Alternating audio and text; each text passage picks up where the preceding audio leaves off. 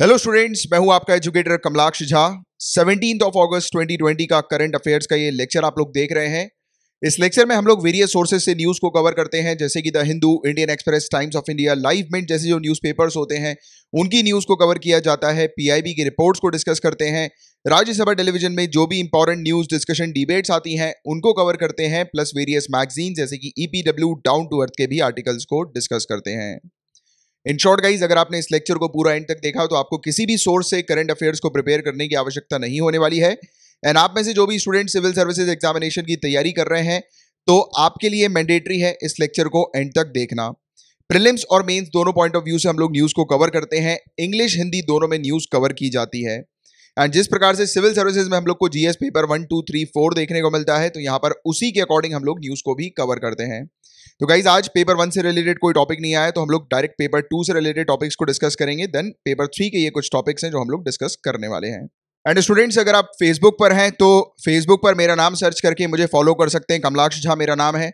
Check कर लीजिए channel का नाम current affairs by Kamalaksh Jha है, इसको आपने सब्सक्राइब किया है कि नहीं? अगर नहीं किया है तो कर लीजिएगा, और बेल आइकन पे भी हिट कीजिएगा, इससे लेक्चर्स की हर एक नोटिफिकेशन अपडेट्स आपको टाइम पर मिल जाएगी।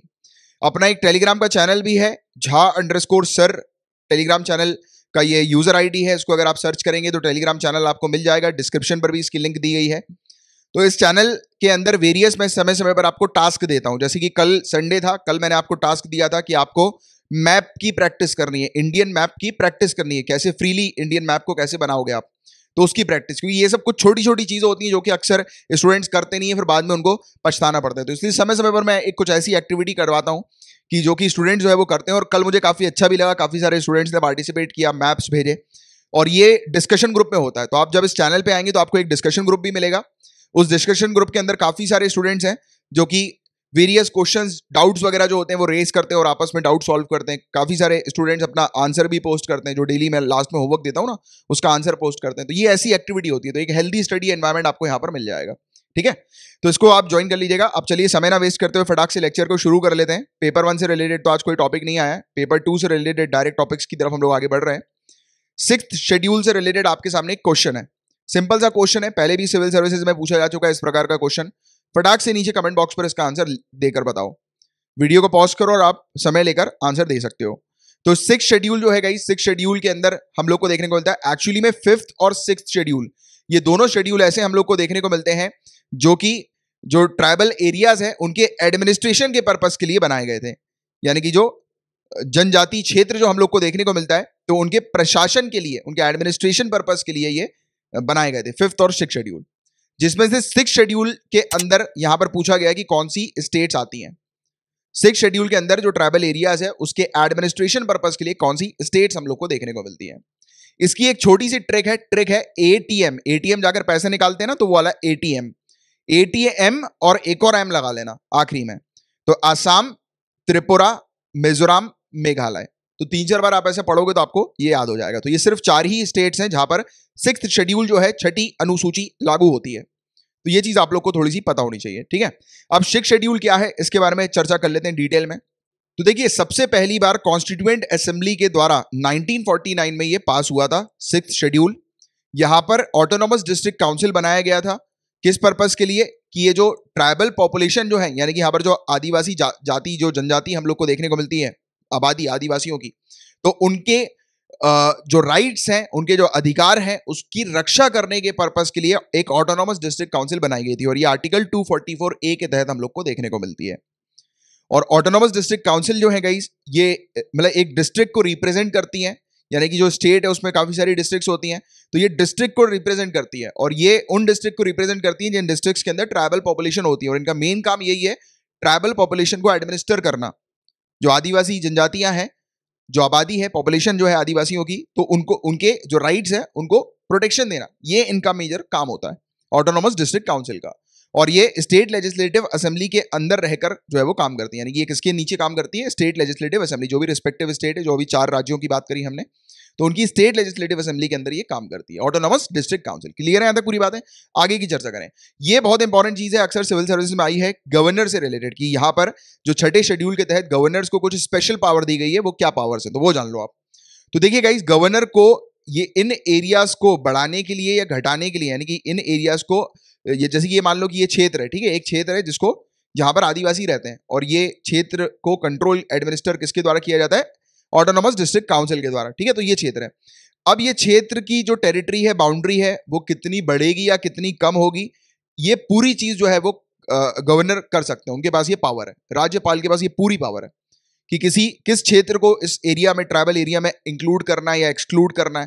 पूरी पावर्स जो होती है वो गवर्नर के हाथ में होती है और गवर्नर को कोई सेपरेट कानून ला, लाकर जो है, ये करने की आवश्यकता नहीं होती, वो सिंपली कर सकते हैं। इस चीज़ को करने के लिए किसी टेरिटरी को ट्राइबल एरियाज़ की टेरिटरी जो है, उसको बढ़ाने के लिए, घटाने के लिए जो है, वो गवर्नर को एक अलग से कानून नहीं लाना पड़ता। बिना किसी कानून के ये जो है, वो खुद से कर सकते हैं। इवन इसका नाम भी चेंज कर सकते हैं, बिना किसी कानून का लाए। ये पूरा का पूरा पावर जो होता है, वो गवर्नर के हाथ में होता है। तो ये चीज़ बहुत इंपॉर्टेंट है, ये थोड़ा सा याद रख लीजिएगा, ठीक है? इसके अलावा इन ऑटोनोमस डिस्ट्रिक्ट काउंसिल के पास सिविल और जुडिशियल पावर दोनों होती है, नागरिक और न्यायिक शक्तियाँ दोनों हम लोग को इस, इसमें देखने को मिलती हैं ऑटोनोमस डिस्ट्रिक्ट काउंसिल में।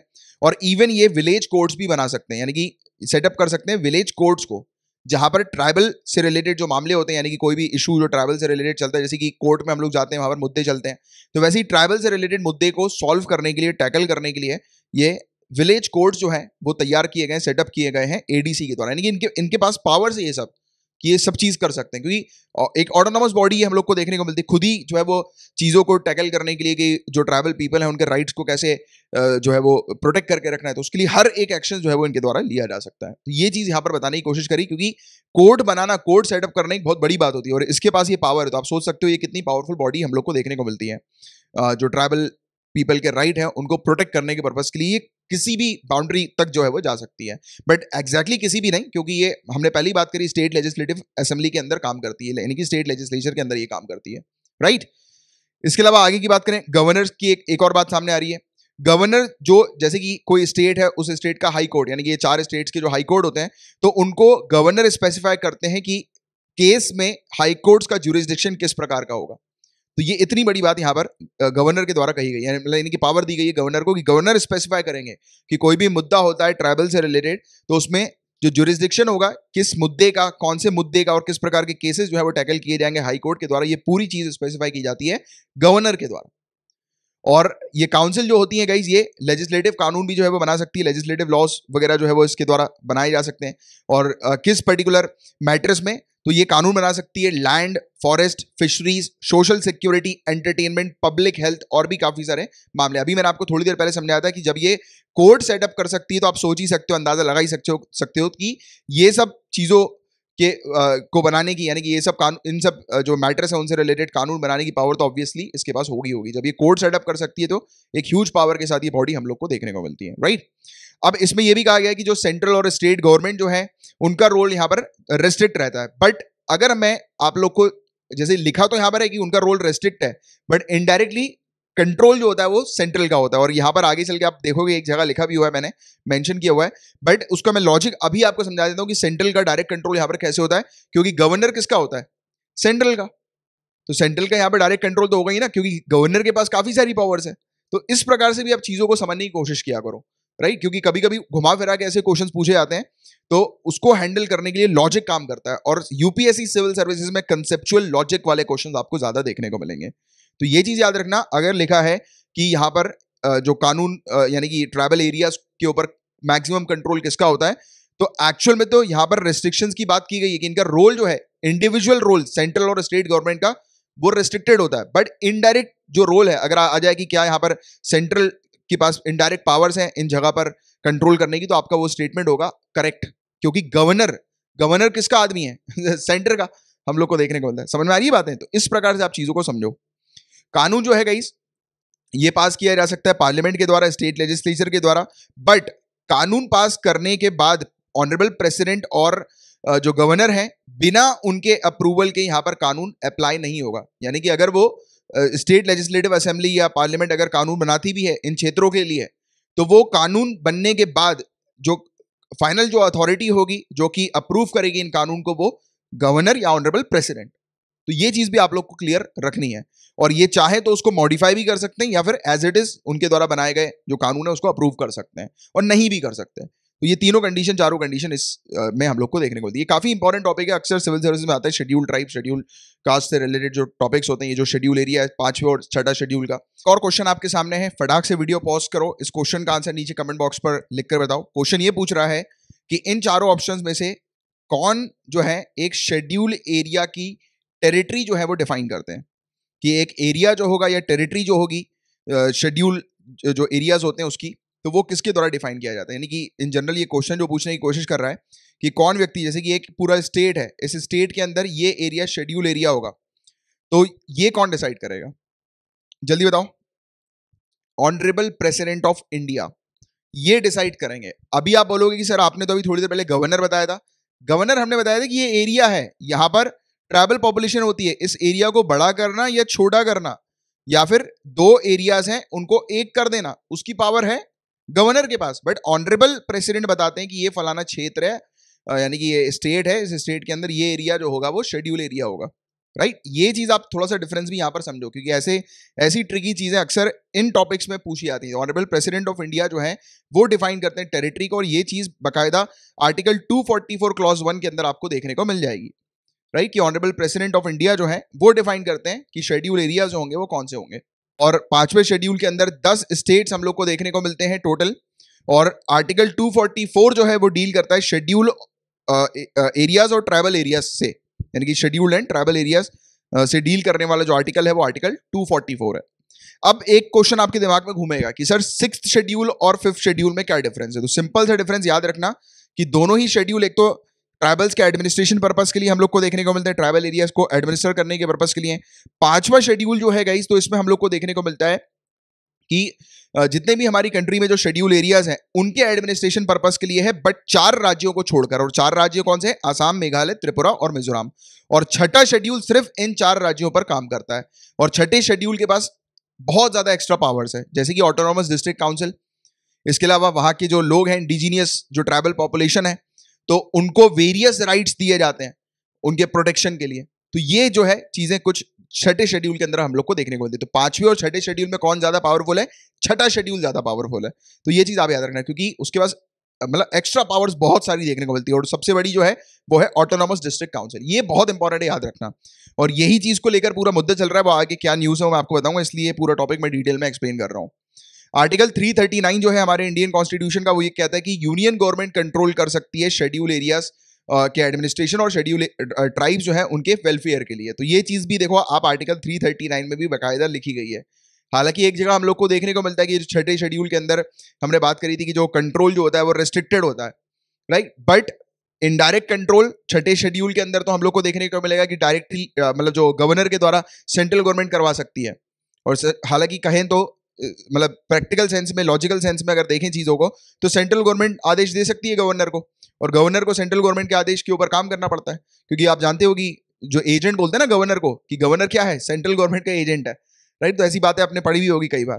तो वही चीज़ यहाँ पर इस प्रकार से आपको समझनी है थोड़ी सी और बाकी ऑल ओवर जितने भी शेड्यूल एरिया या मतलब जो ट्राइबल एरिया जो हम लोग को देखने को मिलते हैं तो उनके जो एडमिनिस्ट्रेशन है या उनके वेलफेयर के पर्पज के लिए पूरा जो पावर जो होती है कंट्रोल जो होता है, वो यूनियन गवर्नमेंट का हम लोग को देखने को मिलता है। अंडरस्टैंडिंग द पॉइंट और नॉट और दस राज्य राज्य जो हैं, जहाँ पर हम लोग को शेड्यूल एरियाज़ देखने को मिलते हैं, आंध्र प्रदेश, छत्तीसगढ़ गुजरात, हिमाचल प्रदेश, झारखंड, मध्य प्रदेश, महाराष्ट्र, ओडिशा, राजस्थान, तेलंगाना। इन दस राज्यों में से अगर आप किसी स्टेट में रहते हैं तो आप मुझे नीचे कमेंट बॉक्स पर लिखकर बताइए कि आपके स्टेट्स में कौन सी कौन सी ट्राइबल कम्युनिटीज हैं, ये नीचे लिखकर बताइएगा। ये सिर्फ़ आपके स्टेट वाली लिखकर बताइएगा और कमेंट में आप दूसरों स्टूडेंट्स की पढ़िएगा। जैसे कि अगर कोई दूसरा स्टूडेंट दूसरे स्टेट से है तो आपको उनकी स्टेट्स की भी ट्राइबल पॉपुलेशन के बारे में पता लगेगी कौन सी कौन सी ट्रैवल पॉपुलेशन है, क्योंकि ऐसे भी क्वेश्चन अक्सर आते हैं, राइट? इसके अलावा छठे शेड्यूल के अंदर ये चार स्टेट्स हैं, चार स्टेट्स के अंदर आपका एक टास्क है, आपको जो है वो मैप अभी जो मैंने आपको कल टास्क दिया था ना मैप बनाने का तो आप वैसा मैप बनाएँगे अभी फिर से आज। उसके बाद आप क्या कीजिए, इन पर्टिकुलर एरियाज़ को, जैसे हिल्स है ये ये छाछर हिल्स छाछर हिल्स को जो है आपको वहाँ पर मार्क करना है कि आसाम में कहाँ पर छाछर हिल्स है कार्बी एंगलोंग डिस्ट्रिक्ट कहाँ पर है बोडोलैंड टेरिटोरियल एरिया डिस्ट्रिक्ट कौन सी है तो कलर वलर अगर आपके पास हो थोड़े बहुत तो उसमें जो है वो मार्क करके लिखिएगा, ठीक है? क्योंकि ऐसे क्वेश्चन अक्सर आते हैं, जैसे खासी, जयंता और गारो हिल से रिलेटेड अक्सर सिविल सर्विसेज़ में क्वेश्चन आए जो मेघालय में हम लोग को देखने को मिलती है। त्रिपुरा के अंदर त्रिपुरा ट्रैवल एरिया डिस्ट्रिक्ट, इसको अगर नहीं भी जाओ तो मत करना। ये वाली चीज़ तो ज़रूर करना। ये करना और ऊपर वाला, जैसे चाचर हिल्स हो गई और ये बोडोलैंड बोडोलैंड टेरिटोरियल एरिया तो इसके बारे में भी हमने बात करी थी काफ़ी डिटेल में।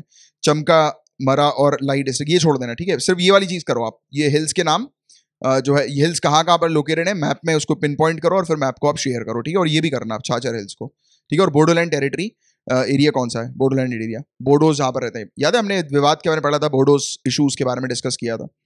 और अभी ये पूरा मामला सिक्स शेड्यूल का क्यों न्यूज़ में चल रहा है? क्योंकि अरुणाचल प्रदेश के अंदर हम लोग को कुछ पॉलिटिकल पार्टीज़ और कुछ कम्युनिटी बेस्ड ग्रुप्स डिमांड करते हुए नज़र आ रहे हैं कि उनको अरुणाचल प्रदेश पूरा का पूरा, जितना अरुणाचल प्रदेश है, वो छठे शेड्यूल के अंदर जो है वो ऐड करवा दिया जाए। तो इसीलिए छठा शेड्यूल जो है वो न्यूज़ में बहुत ज़्यादा हम लोग को देखने को मिल रहा है। और उन्होंने बोला कि दो ऑटोनॉमस काउंसिल जो है वो उसकी डिमांड उन्होंने यहाँ पर करी। क्योंकि डिस्ट्रिक्ट ऑटोनॉमस डिस्ट्रिक्ट काउंसिल जो है, उनके पास पावरफुल यानी काफ़ी ज़्यादा उनके पास पावर हम लोग को देखने को मिलती है राइट काफ़ी पावरफुल बॉडी होती है तो इसलिए इस प्रकार की चीज़ें हम लोग को देखने को मिली अरुणाचल प्रदेश आज की डेट में पाँचवें शेड्यूल स्टेट के अंदर आती है और ये डिमांड कर रही है कि इसको सिक्स शेड्यूल के अंदर जो है वो ऐड कर दिया जाए क्योंकि पाँचवें शेड्यूल के तहत जो इंडिजीनियस कम्युनिटीज हैं, उनको, उनके राइट्स को, यानी कि उनको कुछ स्पेशल राइट्स नहीं दिया जाता, उनके जो मतलब लिमिटेड उनके पास कुछ राइट्स होते हैं। बट सिक्स शेड्यूल के अंदर बहुत ज़्यादा राइट्स हम लोग को देखने को मिलते हैं और बहुत ज़्यादा पावर्स एडीसी जो है वो प्रोवाइड कराती हैं ट्राइबल ग्रुप्स को राइट अब इस न्यूज़ में हम लोग चर्चा करेंगे एक कन्वेंशन के बारे में जिसका कन्वेंशन नंबर है 182 ये इंटरनेशनल लेबर ऑर्गेनाइजेशन जो यूनाइटेड नेशन का हम लोग को देखने को मिलता है तो उसका ये कन्वेंशन है और एक्जैक्टली दो कन्वेंशन पर हम लोग फोकस करेंगे कन्वेंशन नंबर 182 और कन्वेंशन नंबर 138 तो अभी ये पूरा मामला है क्या? वो पहले मैं आपको न्यूज़ बता देता हूँ। तो टोंगा नाम की एक कंट्री है पैसिफिक आइलैंड नेशन ये हम लोग को देखने को मिलती है टोंगा। तो आप इसकी लोकेशन देखो पहले लोकेशन वाइज भी चीज़ें पूछी जाती हैं, ये देखो टोंगा। ऑस्ट्रेलिया से अगर आप देखोगे ईस्ट की तरफ़ आपको टोंगा दिखाई देगा। और नॉर्थ ईस्ट की तरफ़ अगर आप देखोगे यहाँ पे, ये इससे न्यूजीलैंड से तो आपको जो है ये कंट्री आइलैंड कंट्री जो है वो देखने को मिलेंगी, टोंगा।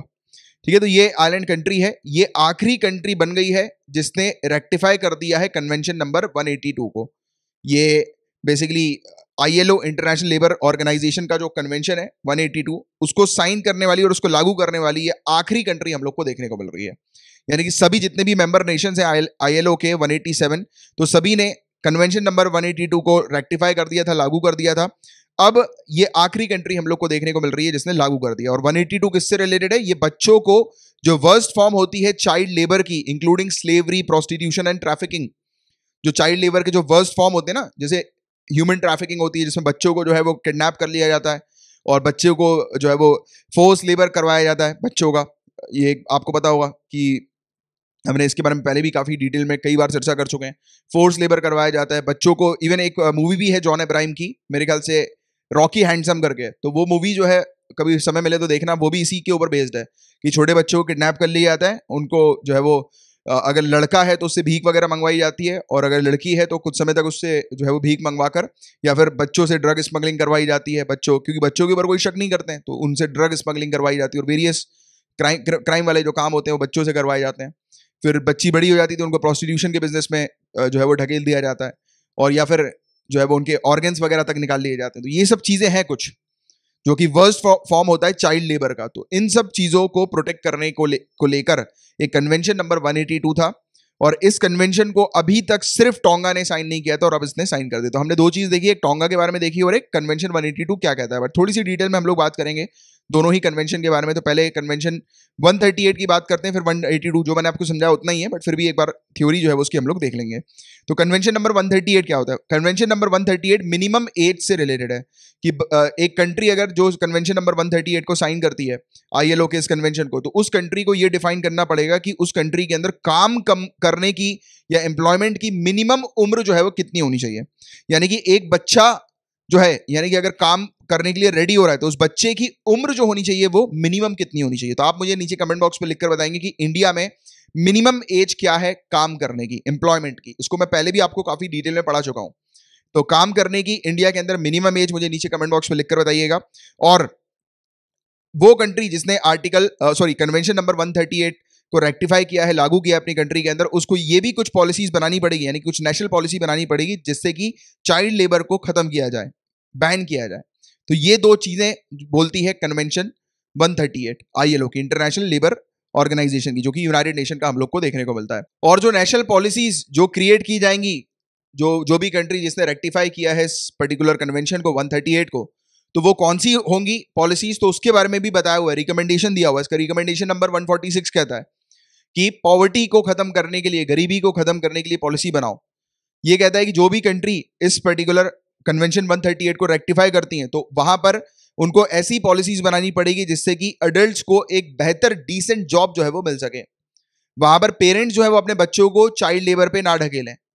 वहाँ पर फ्री और कंपलसरी एजुकेशन होना चाहिए। अब देखो सरकार जो अपनी पॉलिसीज़ बनाती है उस पॉलिसीज़ के वेरियस ऑब्जेक्टिव होते हैं। जैसे कि सरकार फ्री और कंपलसरी एजुकेशन प्रोवाइड करा रही है तो एक इंसान जो मेंस में जो आंसर लिखेगा तो उसका आंसर जो होगा जब जब तक वो ब्रॉडली अगर नहीं सोचेंगे तो उनका आंसर जो होगा वो लिमिटेड हो जाएगा। कैसे होगा? वो सोचेंगे कि, कि लिटरेसी को इंप्रूव करना है। जैसे कि आगे चल के बच्चे जो है वो उनको अच्छी जॉब मिले डिसेंट जॉब मिले और कंट्री की इकोनॉमिक ग्रोथ हो तो ये तो एक पैरामीटर है बट दूसरे डायमेंशन भी तो आपको देखने हैं कवर कर रहे हैं अपने आंसर में। दूसरे डायमेंशन क्या बोलते हैं? कि हमने इसलिए भी शुरू किया क्योंकि पेरेंट्स जो हैं, गरीब परिवार के जो पेरेंट हैं, वो अपने बच्चों को चाइल्ड लेबर में ना ढकेलें। इसीलिए फ्री और कंपलसरी एजुकेशन है कि भाई आओ यहाँ पर, और अभी इसके साथ आप ऐड कर सकते हो मिड डे मील को भी। जो मिड डे मील स्कीम है, वो इसलिए भी लाई गई कि पेरेंट्स को चिंता ना हो कि अपने बच्चों के खाने पीने की। कि स्कूल में ही उनको खाना मिल जाएगा। एटलीस्ट पढ़ाई के लिए नहीं तो पेरेंट अपने बच्चों को खाने के लिए स्कूल भेज देंगे और सरकार के दोनों तीनों ऑब्जेक्टिव जो है वो फुलफिल हो जाएँगे। तीसरा, जो इंटरनेशनल रेक्टिफिकेशन जो सरकार ने किया हुआ है आईएलओ के साथ, वो भी अचीव होगा। तो ऐसे पॉइंट्स अगर आप लिखोगे, तब बनेगा बेहतरीन आंसर और तब मिलेंगे बेहतरीन मार्क्स समझ रहे हो? ऐसी इस अप्रोच में जो है वो आपको आपकी तैयारी करनी है। आगे की बात करें, यहाँ पर वोकेशनल ट्रेनिंग का प्रोविज़न भी रखा जाए। तो ये चीज़ कहती है, ये रिकमेंडेशन दिए हैं कि ऐसी पॉलिसी बननी है। इसके अलावा बर्थ रजिस्ट्रेशन का सिस्टम होना चाहिए। अप्रोप्रिएट फैसिलिटीज़ जो है वो देनी चाहिए किस पर्पज़ के लिए कि चिल्ड्रन और एडल्सेंट जो हैं तो उनको प्रोटेक्ट किया जाए जॉब्स वगैरह से कि उनको जॉब में ना ढकेलें। राइट तो ये सब चीज़ें जो है वो कहता है आर्टिकल इसका कन्वेंशन वन थर्टी एट तो 138 कन्वेंशन जो है वो इसका इससे रिलेटेड अब 182 की बात करेंगे हम लोग कन्वेंशन नंबर 182 की। तो ये सभी मेंबर्स ने इसको रेक्टिफाई कर दिया है। तो इसमें हम लोग को ये देखने को मिलता है कि इमीडिएट एक्शंस लिए जाएँ टाइम बाउंड तरीके से और इफ़ेक्टिव तरीके से ऐसे मेजर्स लिए जाएँ, ऐसे एक्शंस लिए जाएँ, जिससे कि जो चाइल्ड लेबर का वर्स्ट फॉर्म है, उसको एलिमिनेट किया जा सके। चाइल्ड लेबर के वर्स्ट फॉर्म क्या होंगे? तो इससे कुछ डेफिनेशन भी दी हुई है कि हजारस वर्क क्या होता है। जैसे कि बच्चों को फ़िज़िकल साइकोलॉजिकल या सेक्सुअल अब्यूज अगर काम में सहना पड़े तो वो वर्स्ट फॉर्म है। अगर बच्चे अंडरग्राउंड एक्टिविटी में काम कर रहे हैं, यानी कि ज़मीन के नीचे माइंस वगैरह में अंडरग्राउंड अगर काम कर रहे हैं, या अंडर वाटर काम कर रहे हैं तो ये सब डेंजरस होता है। और ये वर्स्ट फॉर्म कहलाया जाता है और ये हजारस वर्क होते हैं राइट जो कि एलिमिनेट करने पर फोकस करता है ये कन्वेंशन की ऐसी एक्टिविटीज़ ऐसे जॉब जो है वो एलिमिनेट की जाए। और जो भी ऐसे जॉब बच्चों को दे रहा है, उसके खिलाफ भी कार्रवाई की जाए। आपको पता होगा उसके बारे में पढ़ा भी हमने पहले। इसके अलावा हाइट में काम करना, कुछ ऐसी स्पेस में काम करना जो कि जो स्पेस जो है वो डेंजरस है, जैसे कि एक अच्छी हाइट पर है राइट और इसके अलावा कुछ डेंजरस मशीनरी के बीच में काम करना, कुछ इक्विपमेंट्स टूल्स होते हैं जो डेंजरस होते हैं राइट या फिर बच्चों को हैवी लोड देना, यानी कि उनको जो है जैसा आपने देखा वो लेबर जो है वो अपने सर पर ईट वगैरह रखते हैं तो वैसे ही बच्चे को उसकी एज से मतलब जो उसकी एज है डेवलपिंग एज है तो उस उस एज में उसको एक ऐसा हैवी लोड देना जो कि एक एडल्ट के लिए होता है राइट तो ऐसी चीज़ें करवाना तो ये भी जो है, ये एक हजारस की वर्क की कैटेगरी में आएगा। तो ये सब चीज़ें बताता है कन्वेंशन नंबर 182 ऐसी जगह जहाँ पर टेम्परेचर जो है वो काफ़ी ज़्यादा है और जो वहाँ पर जो चीज़ें रखी गई हैं सब्सटेंस रखे गए हैं, कुछ चीज़ें मटेरियल ऐसा रखा गया है जो कि केमिकल है डेंजरस है राइट जिससे कि बच्चे को नुकसान हो सकता है, उसकी आँखें खराब हो सकती है लंग्स में उसको प्रॉब्लम आ सकती है। जैसे काफ़ी सारे ऐसे केमिकल्स वगैरह होते हैं ना, जिससे वेरियस प्रॉब्लम्स हो सकती हैं। और बच्चा एक डेवलपिंग एज का होता है और वो तो जल्दी एक्सपोज होता है इन सब चीज़ों से। फिर भी एक अडल्ट जो है वो एक बार जो है वो उतना गंभीर इफ़ेक्ट नहीं पड़ेगा अडल्ट को राइट बट बच्चा डेवलपिंग एज का होता है, उसकी बॉडी ग्रो कर रही होती है तो उस, वो एकदम ज़्यादा तेज़ी से जो है वो एक्सपोज हो जाएगा इन सब चीज़ों के, और वो वलनरेबल होता है बच्चा राइट आप समझते हो ये सब तो बेसिक चीज़ें हैं हम लोग को देखने को मिलती हैं राइट तो ये कुछ चीज़ें हैं जो कि बताता है कन्वेंशन नंबर 182 और इंडिया के अंदर जो कन्वेंशन लागू किए गए हैं हमारी कंट्री के अंदर, वो हम लोग को देखने को मिलता है आठ कोर कन्वेंशन है आईएलओ के जिनको फंडामेंटल या फिर ह्यूमन राइट्स कन्वेंशन भी कहा जाता है एक तो फोर्स लेबर कन्वेंशन बंदुआ मजदूरी राइट तो ये हमारी कंट्री के अंदर जो है वो बैन है, आपको पता होगा फोर्स लेबर इसके अलावा फोर्स लेबर कन्वेंशन को बैन करना, ये वाली चीज़ भी हम लोग को देखने को मिलती है. इक्वल रेम्यूनरेशन की काम में जो है वो इक्वली जो है वो पे मिलना चाहिए राइट मतलब जेंडर बेस्ड पे भी इक्वल पे जो है वो मिलना चाहिए. और किसी प्रकार का डिस्क्रिमिनेशन जो है वो एम्प्लॉयमेंट पर नहीं, यानी कि काम के समय पर कोई भी डिस्क्रिमिनेशन ना हो. ऐसा नहीं हो कि मेल्स को ज़्यादा पैसे दिए जा रहे हैं फीमेल को कम दिए जा रहे हैं. तो ये भी एक डिस्क्रिमिनेशन होता है.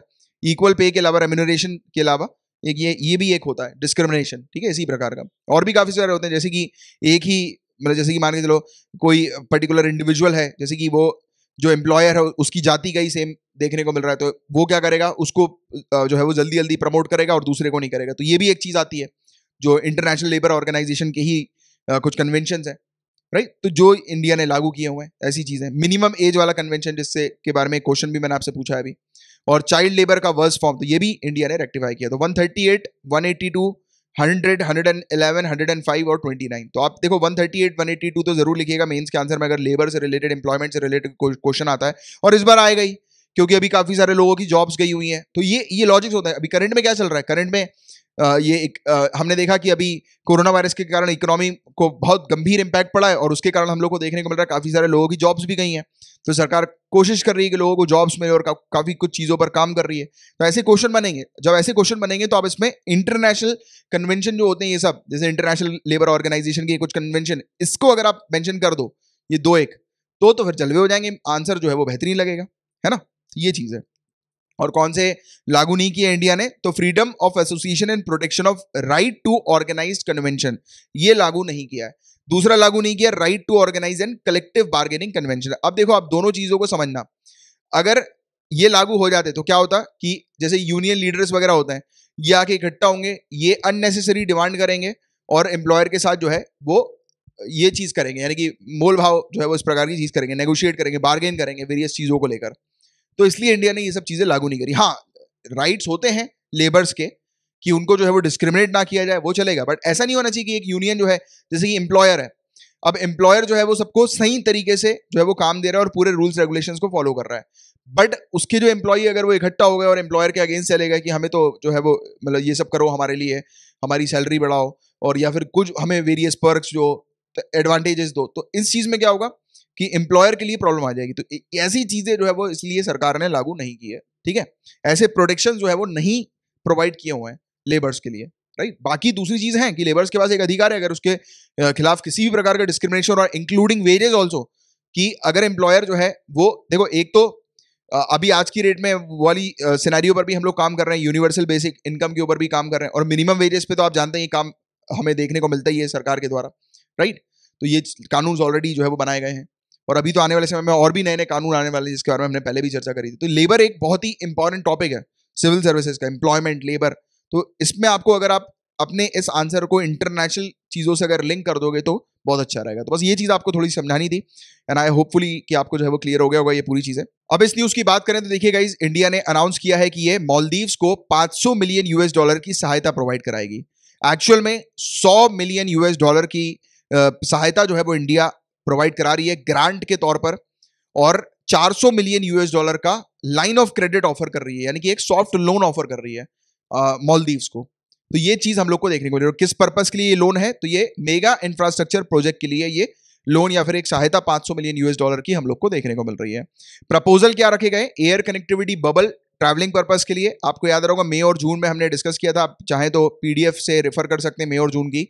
हमने बात करी थी कि ये कंसेप्ट जो है वो यूरोप से शुरू हुआ था एयर बबल का एक्चुअली ट्रैवलिंग के पर्पज़ के लिए ट्रैवल बबल जिसको हम लोग बोलते हैं कि जो एक कंट्री से दूसरी कंट्री में जो है वो प्लेन्स जा सकते हैं, यानी कि सिटीजन जो है वो ट्रैवल कर सकते हैं, और दूसरी कंट्री से, यानी कि इसमें ऐसे वाइस वर्षा तो ऐसी ट्रैवलिंग जो है वो हम लोग को दो कंट्रीज़ के बीच में देखने को मिल सकती है, और ये एक एग्रीमेंट के थ्रू होता है, और ये ट्रैवल बबल कनेक्टिविटी जो है वो इसको बोलते हैं ट्रैवल बबल कनेक्टिविटी तो ये एयर कनेक्टिविटी इस प्रकार की जो है वो मॉलदीव के साथ जो है वो हम लोग क्रिएट करेंगे। डायरेक्ट फेरी सर्विस जो है वो शुरू की जाएगी मॉलदीव के लिए और सबमरीन केबल जो है वो बिछाई जाएगी टेलीकॉम कनेक्टिविटी पर्पज के लिए। जैसे कि अभी हमने अंडमान के साथ जो है वो लिंक करी है एक सबमरीन केबल, राइट? इसके अलावा ग्रेटर माले कनेक्टिविटी प्रोजेक्ट जो है उसमें सहायता होगी इस पर्टिकुलर इन पैसों से। तो इसके थ्रू माले की जो तीन नेबरिंग आइलैंड्स हैं, विंगिली, तीलाफूशी और गुलही फाहू। तो देखो कभी कभी ऐसे भी क्वेश्चन आए थे कि ये फलाना आइलैंड जो है वो किस क्षेत्र का है? तो मॉलदीव का ये तीनों आइलैंड के नाम थोड़ा याद रखना। इसके अलावा अदल आइलैंड यहाँ पर इंफ्रास्ट्रक्चर रिफॉर्म किया जाएगा, यानी कि बेहतरीन इंफ्रास्ट्रक्चर क्रिएट किया जाएगा। इसके अलावा ये जो हमने बात करी गुलही, फलहू तो यहाँ पर पोर्ट बनाया जाएगा।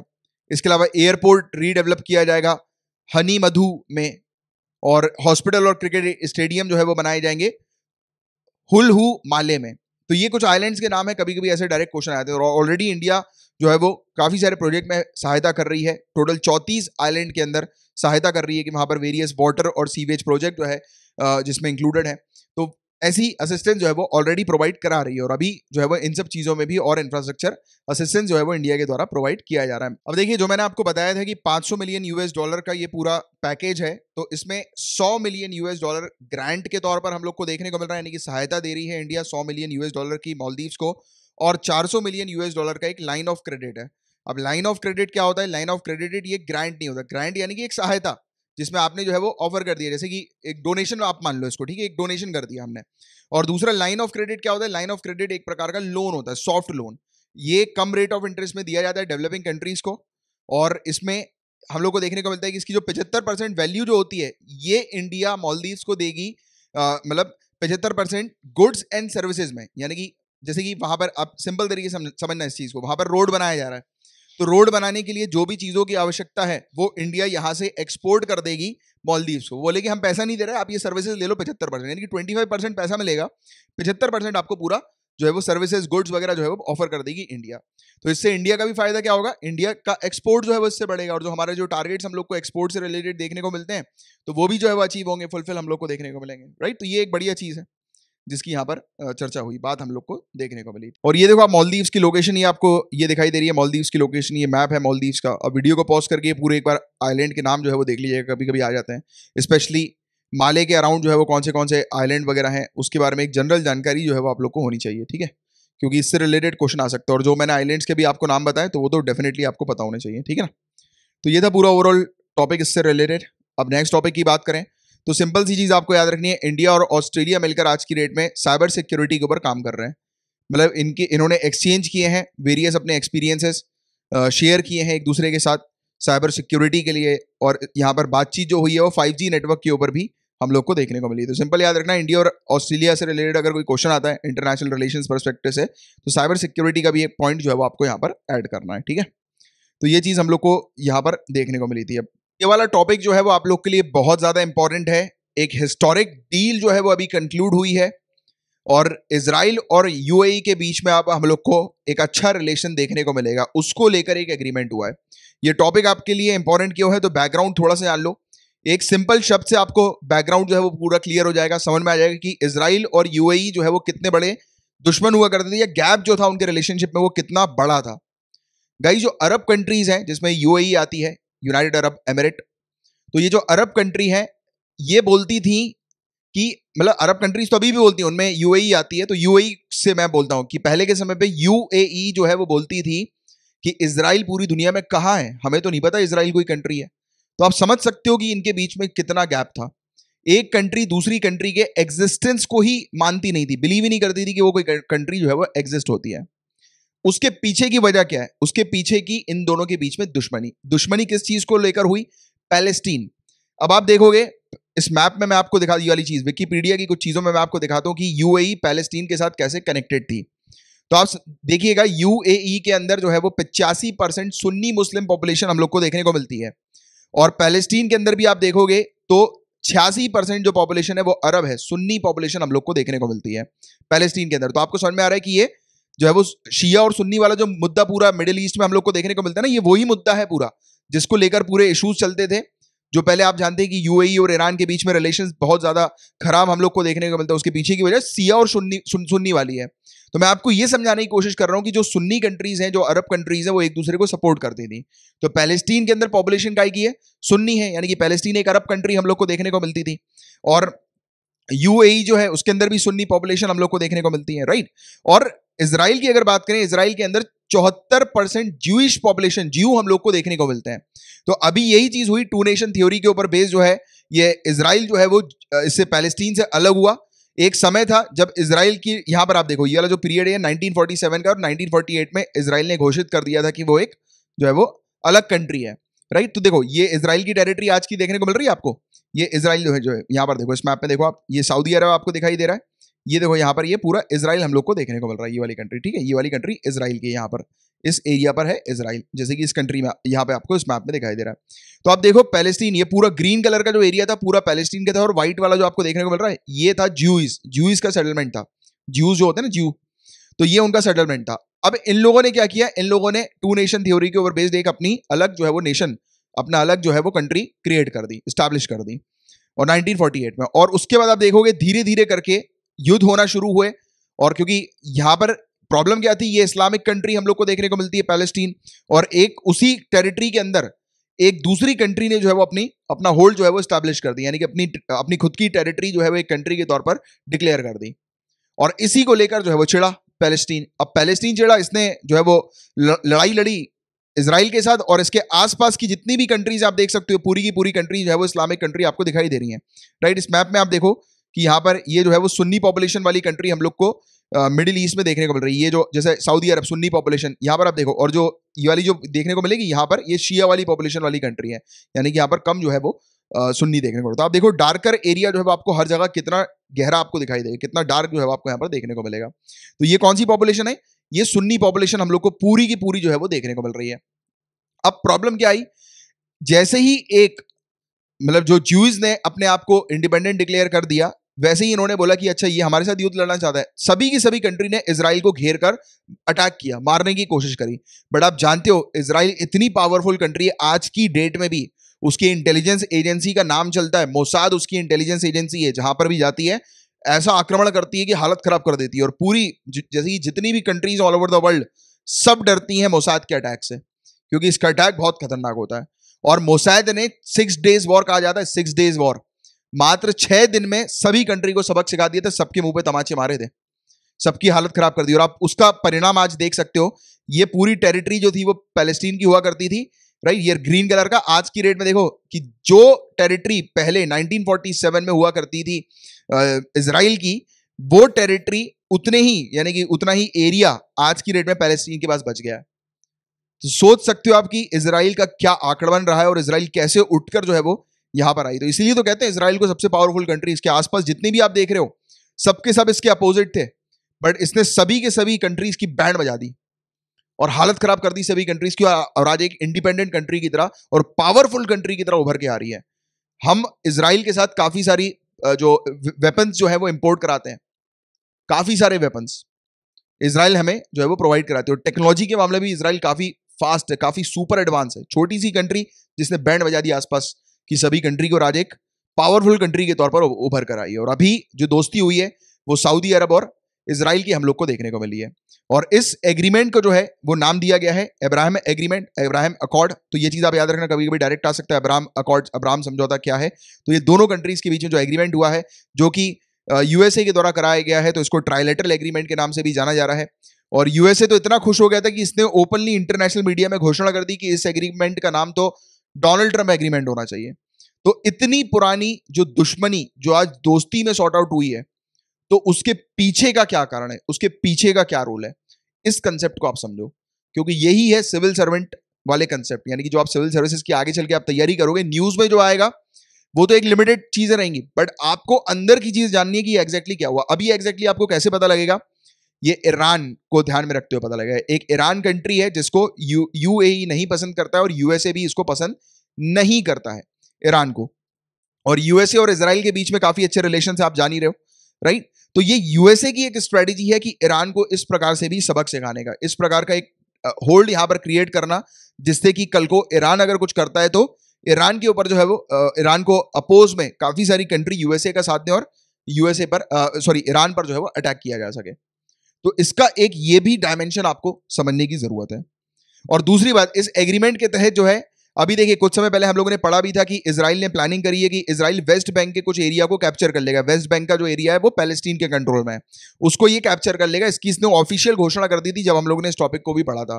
बट अभी इसने कहा कि अपनी इस प्लानिंग को सस्पेंड कर रहा है। एंड नहीं कर रहा है point to be noted and नहीं कर रहा है सस्पेंड कर रहा है। कि कुछ समय के बाद जो है वो फिर से प्लान कर सकता है इस चीज़ को लेकर। और मैप में भी ऐसी चीज़ आती है। तो ये ऊपर वाला जो एरिया है, ये कौन सा एरिया है? जल्दी बताओ गोल्डन हाइट्स ये वाला जो एरिया है, ये वेस्ट बैंक का एरिया है। ये वाला जो एरिया है, ये गाजा स्ट्रिप का। ये पैलेस्टीन के कंट्रोल में। ऊपर वाला नहीं, ये वाला और ये वाला। वेस्ट बैंक और गाजा स्ट्रिप तो इसने बोल दिया था कि पैलेस्टीन के वेस्ट बैंक के एरिया पर जो ये कैप्चर करेगा कंट्रोल करेगा, उस प्लानिंग को जो है वो इस एग्रीमेंट के थ्रू इसने थोड़ा सा सस्पेंड कर दिया है। और इसराइल ने पहले भी, हालाँकि इसकी जो नेबरिंग कंट्री है इजिप्ट की बात करें जॉर्डन की बात करें तो इनके साथ अभी उसने अपनी एक पीस एग्रीमेंट जो है वो कर दिया था 1979 और 1994 में, अब अब इसने जो है वो यूएई के साथ भी कर दिया है। और मैंने आपको बताया था कि यूएई जो है, और दूसरे जो अरब नेशन ये एक टाइम पर रिकॉग्नाइज नहीं करते थे इसराइल को बट आज की रेट में यूएई आ गई है तो शायद दूसरे अरब नेशंस भी जो है वो इसराइल को सपोर्ट करेंगे। और वो वो बेसिकली इंटरनेशनल एक मामला है, वो पूरा ईरान के साथ जो है वो मतलब एक मतलब रिलेशनशिप इस प्रकार जैसे बोलते हैं ना कि अगर आपका दुश्मन सामने वाला है तो एक एक पर्टिकुलर पार्टी ये दोनों आपस में दुश्मन है, ठीक है? और इसका दुश्मन भी ये होगा, यानी कि ये ये भी दुश्मन है इसका, ये भी दुश्मन है इसका तो इन दोनों के बीच में क्या होगी? फ्रेंडशिप रिलेशन होगी तो इसके बारे में भी आपको थोड़ा सा एक आइडिया होना चाहिए। ऐसी अप्रोच भी जो है वो मतलब डिप्लोमेसी में बहुत काम करती है तो जो सिविल सर्वेंट के लिए काफ़ी ज़्यादा इंपॉर्टेंट है। राइट? और इसको लेकर ईरान जो है वो चिड़ा हुआ है। ईरान बोल रहा है कि नहीं यार, ये तो गलत हो गया। ये चीज़ जो है वो गड़बड़ हो सकती है। पैलेस्टीन को इस पर जो है वो भारी मार जो है वो पड़ सकती है। वो तो बोलेगा, क्योंकि उसको समझ में आ रहा है कि यार, ये दो कंट्रीज़ अगर एक हो रही हैं तो कल को जो है वो यहाँ पर जो रीजनल पावर जो ईरान का जो रोल हम लोग को देखने को मिलता था वो पूरा का पूरा बैंड हो जाएगा। इस चीज़ के बाद क्योंकि अब पूरी चीज़ जो है वो, अब देखिएगा, आगे चल के आपको इस प्रकार की भी न्यूज़ मिलेंगी कि कुछ ना कुछ आगे चल के आप देखें ना, कुछ महीनों के अंदर ईरान जो है वो इससे लिंक होगा और ईरान जो है वो चपेट में आएगा। क्योंकि अभी ईरान ने क्या बोला है, कुछ महीनों पहले, कि मैं 2015 की जो ईरान न्यूक्लियर डील थी, उसको नहीं मानूँगा। अब यूएसए को चाहिए था कि आसपास की कंट्री का और गहरा सपोर्ट अब इसराइल यूएसए जानता है और यूएसए ने इसराइल के साथ रिलेशन क्यों बनाए पूरी चीज़ डिप्लोमेटिक होती है। एक टाइम था, कुछ साल पहले अगर आप हिस्ट्री पढ़ के देखोगे यूएसए रिकॉग्नाइज करता था पैलेस्टीन कि जेरूसलाम है, वो कैपिटल पैलेस्टीन की है। आज की रेट में यूएसए रिकॉग्नाइज कर रहा है, इसराइल की कैपिटल जेरूसलाम है। ये क्यों हुआ? The reason being is interest पूरा खेल इंटरेस्ट का है। इंटरनेशनल रिलेशन में कोई परमानेंट दोस्त या कोई परमानेंट दुश्मन नहीं होता। जो परमानेंट चीज़ होती है, वो होती है इंटरेस्ट और यही चीज़ एज एन ऑफिसर आप आगे चल के करोगे काम। ये सब चीज़ें जो होती है, जो इंटरनेशनल रिलेशन आप देखते हो, जो सीखते हो, वो आपके लिए इंपॉर्टेंट होता है कि आगे चल के आप एज अ सिविल सर्वेंट कैसे ऑपरेट करोगे। और एग्जामिनेशन में आपको क्या अप्रोच डालनी है, क्या अप्रोच लिखनी है, वो मैं यहाँ पर आपकी क्लियर करता हूँ। मैंने आपको अक्सर बोला मेरा काम नहीं है पढ़ाने का। मेरा काम सिर्फ़ ये बताने का है कि किस प्रकार से आपको अप्रोच अपनी एडजस्ट करनी है, जिससे कि एग्ज़ाम निकले। क्योंकि पढ़ तो कोई भी लेगा मटेरियल सब कुछ अवेलेबल है बट जो कोर जो चीज़ें होती हैं, जो निकालना कि यार ये चीज़ रिलेशन कैसे बिल्डअप हुआ और क्या मतलब किस चीज़ पर मेनली टारगेट किया जा रहा है तो याद रखना ईरान के ऊपर टारगेट किया जा रहा है। विद इन टू या थ्री मंथ्स न्यूज़ आएगी, मैं आपको बताऊँगा। अभी पहले भी मैंने ऐसे बोला, मुझे बच्चों ने काफ़ी बार पहले कोरोना वायरस के समय पे अपोज किया था। जब मैंने बोला था कि अभी देखना एक्सटेंड होगा कोरोना वायरस का जो ये लॉकडाउन है। तो बच्चों ने मुझे क्योंकि उस समय हम लोग वो, उस पर तीन महीने की पॉलिसी पे बात कर रहे थे कि सरकार उस समय बहुत सारी पॉलिसी लेकर आ गई थी तीन महीने की। तो मैंने बोल दिया था कि एक्सटेंड होगा। काफ़ी सारे बच्चों ने लिखा था कि, सर, नहीं होगा, हम लोग कंट्रोल कर जाएँगे इंडिया कंट्रोल कर रही है इंडिया देखिए। और हुआ कि नहीं हुआ था उस समय? द रीजन बींग इज़ कि ये सब जो अप्रोचेज होती हैं वो आपको फोर विजन अपना ऐसा क्रिएट करना है कि आ, आने वाले दो तीन महीने में क्या होगा उसकी जानकारी आप पहले से एनालाइज कर लो। सिविल सर्वेंट क्या होता है? यही तो होता है कि आने वाली जो चीज़ें हैं उसके बारे में उसको पहले से प्लानिंग करता है। तो वो चीज़ आपकी आंसर में रिफ्लेक्ट होनी चाहिए। भले ही ना हो बट यू शुड प्रिपेयर तो आप इसका हिस्टोरिकल डायमेंशन रिलीजन के साथ शिया सुन्नी के साथ जो है वो लिंक करेंगे जब भी भी आंसर लिखेंगे।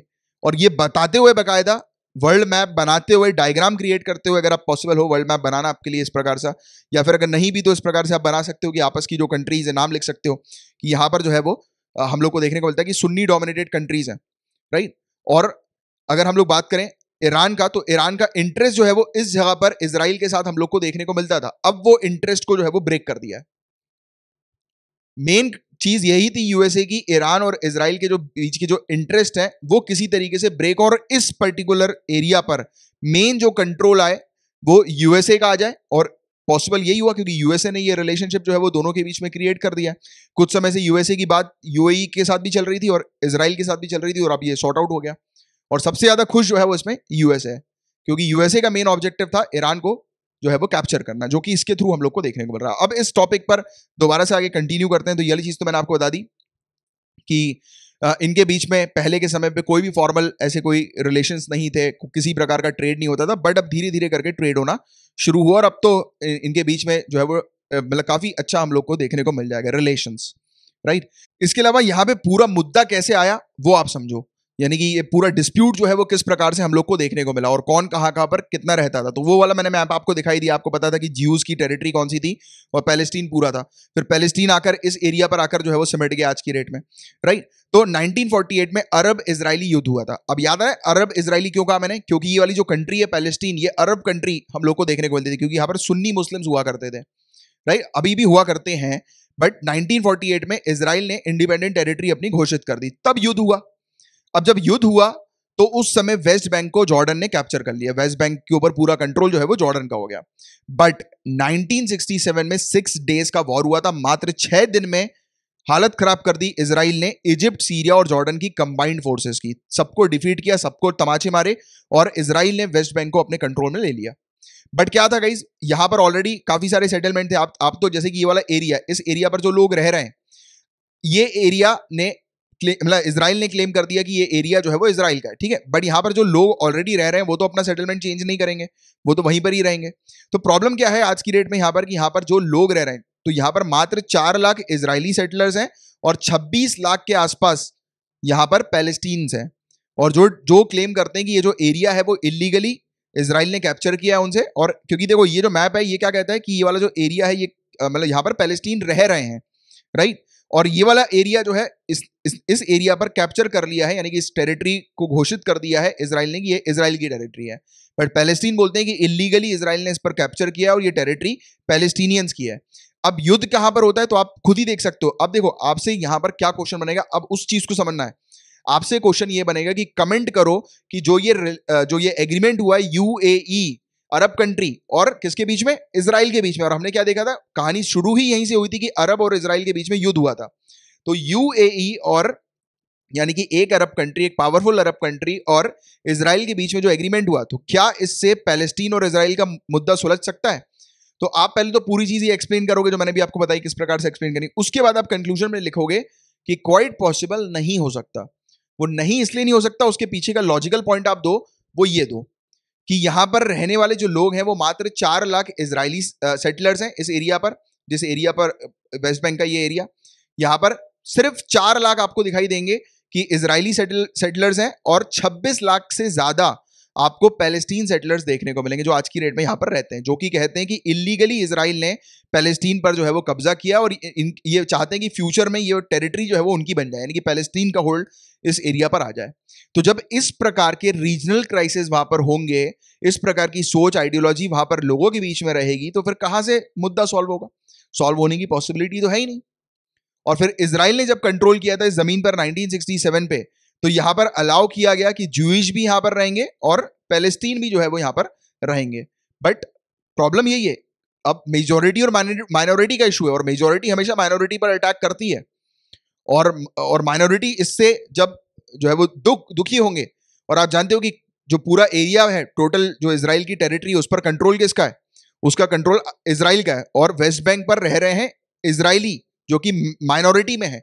और उनके ऊपर अगर कोई प्रॉब्लम आती है तो जो पूरा इसराइल है, वो अटैक करेगा पैलेस्टीन के ऊपर और वेस्ट बैंक के ऊपर जो ज़्यादा पैलेस्टीन है तो वो अटैक करेंगे उस पर्टिकुलर माइनॉरिटी पे, यानी कि वहाँ पर जो वेस्ट बैंक पे जो लोग रह रहे हैं, उन पर। तो इससे कभी भी प्रॉब्लम जो है वो सॉर्ट आउट नहीं हो पाएगी। तो ये इशू जो है वो चलेगा। इसको अगर टैकल करना है तो एक फॉर्मल एग्रीमेंट होना चाहिए, वहाँ पर सभी जो है वो इस चीज़ पर एग्री करें और या तो फिर वहाँ से जो है इसराइली जो है, उनको हटा देना चाहिए और एक कंप्लीट टेरिटरी जो है वो पैलेस्टीन को दे देनी चाहिए पूरी तरह से। तभी जाकर मुद्दा जो है वो सॉर्ट आउट होगा। राइट तो इस प्रकार की चीज़ जो है, इस प्रकार की अप्रोच जो है वो आपकी आंसर्स में जो है वो होनी चाहिए। राइट तो ये था पूरा ओवरऑल टॉपिक होपफुली आपको पूरी चीज़ अच्छे से कंप्लीटली क्रिस्टल क्लियर जो है वो हो गई होंगी इस टॉपिक को लेकर। एंड गाइस पेपर टू से रिलेटेड सिर्फ़ इतने ही टॉपिक्स थे आज। Now we will move on to paper three तो ट्रांसपेरेंट टैक्सेशन की यहाँ पर बात हो रही है। ऑनरिंग द ऑनेस्ट प्लेटफॉर्म हम लोग को देखने को मिल रहा है। हालाँकि इस टॉपिक के बारे में हल्की फुल्की अपन ने चर्चा करी थी कल के टेस्ट में। एंड मैं स्टूडेंट्स, आप सभी लोगों को बता दूँगा इसकी आप लोग जो है टेस्ट को दे नहीं रहे हैं। रेगुलरली जितना आप ये रेगुलर बेसिस पर जो डेली करंट अफेयर्स देख रहे हो, उतने बच्चे जो है वो टेस्ट नहीं दे रहे हैं। तो मैं आप लोग का नुकसान ये बता दूँगा इसकी अगर आप रेगुलरली चीज़ों को फॉलो नहीं करोगे तो आपको फ़ायदा नहीं मिलेगा। ये बात डेफिनेटली याद रखना। यहाँ पर अगर आपको कंप्लीट करंट अफेयर्स की तैयारी करवाई जा रही है फुली पूरी तरह से तो वो पूरे हफ़्ते करवाई जाती है। टेस्ट जो होता है, उसको आप टेस्ट की तरह मत लो कि पिछले हफ़्ते की उसमें न्यूज़ कवर्ड होगी नहीं, अब वो चीज़ें चेंज हो गई हैं। अब टेस्ट के अंदर आपको और भी कुछ एक्स्ट्रा इन्फॉर्मेशन मिलती है। और अगर आप रेगुलरली चीज़ों को फॉलो करोगे, तभी जाकर, मैं नीचे एक पट्टी चलती होगी आपके लेक्चर के स्टार्टिंग पे, कि अगर आप मेरे इंस्ट्रक्शंस फॉलो करोगे, तब मैं आपको गारंटी देता हूँ कि आपको हंड्रेड परसेंट जो है वो आपको सक्सेस मिलेगी। वो इसीलिए कहता हूँ मैं, क्योंकि यहाँ पर जो अपन चीज़ें कवर करते हैं, ये सिलेबस जो है सिविल सर्विसेज़ का, उसके अकॉर्डिंग कवर करते हैं। और ये पूरे दिन की प्रोसेस है। रेगुलर प्रोसेस है और आपको सिर्फ़ रेगुलरली एक घंटा या ज़्यादा से ज़्यादा सवा घंटा देना है मैक्सिमम और मिनिमम तो कभी कभी थर्टी मिनट्स ट्वेंटी मिनट्स भी हो, हो, जाएगा अगर कम न्यूज़ आएगी तो या कम कंसेप्चुअल न्यूज़ आएगी तो। तो ऐसा हो सकता है। बट मैं बस यही कह रहा हूँ कि अपने एक डेढ़ घंटे इस करंट अफेयर्स के निकालो that is more than sufficient और रात में एक बार रिविजन कर लो। और हफ़्ते टू हफ़्ते प्रीवियस रिवीजन करते चलो उससे आपको पूरी चीज़ जो है वो स्मूथली कवर्ड होगी। मुझे बच्चे पूछते हैं कि सर इतना बल्कि करंट अफेयर से कैसे इसको कवर करें? सिंपल कंसेप्ट है। मैं जो पढ़ा रहा हूँ उसको पढ़ो। शाम में पीडीएफ स्क्रॉल करो। आपके पूरा रिवीजन हो, जाएगा खटाखट खटाखट। पूरे दिन में सिर्फ़ डेढ़ घंटे में आपसे मांग रहा हूँ रेगुलरली करंट अफेयर्स के लिए इतने बल्कि पोर्शन के लिए और हफ़्ते में लास्ट में यानी कि संडे के दिन पूरा पिछले हफ़्ते का रिवीजन कर लो। सिर्फ़ ये प्रोसेस चलाओ। और देखिएगा ये प्रोसेस सिर्फ़ अगर आप चलाओगे तो आपको सक्सेस मिलना पक्का है।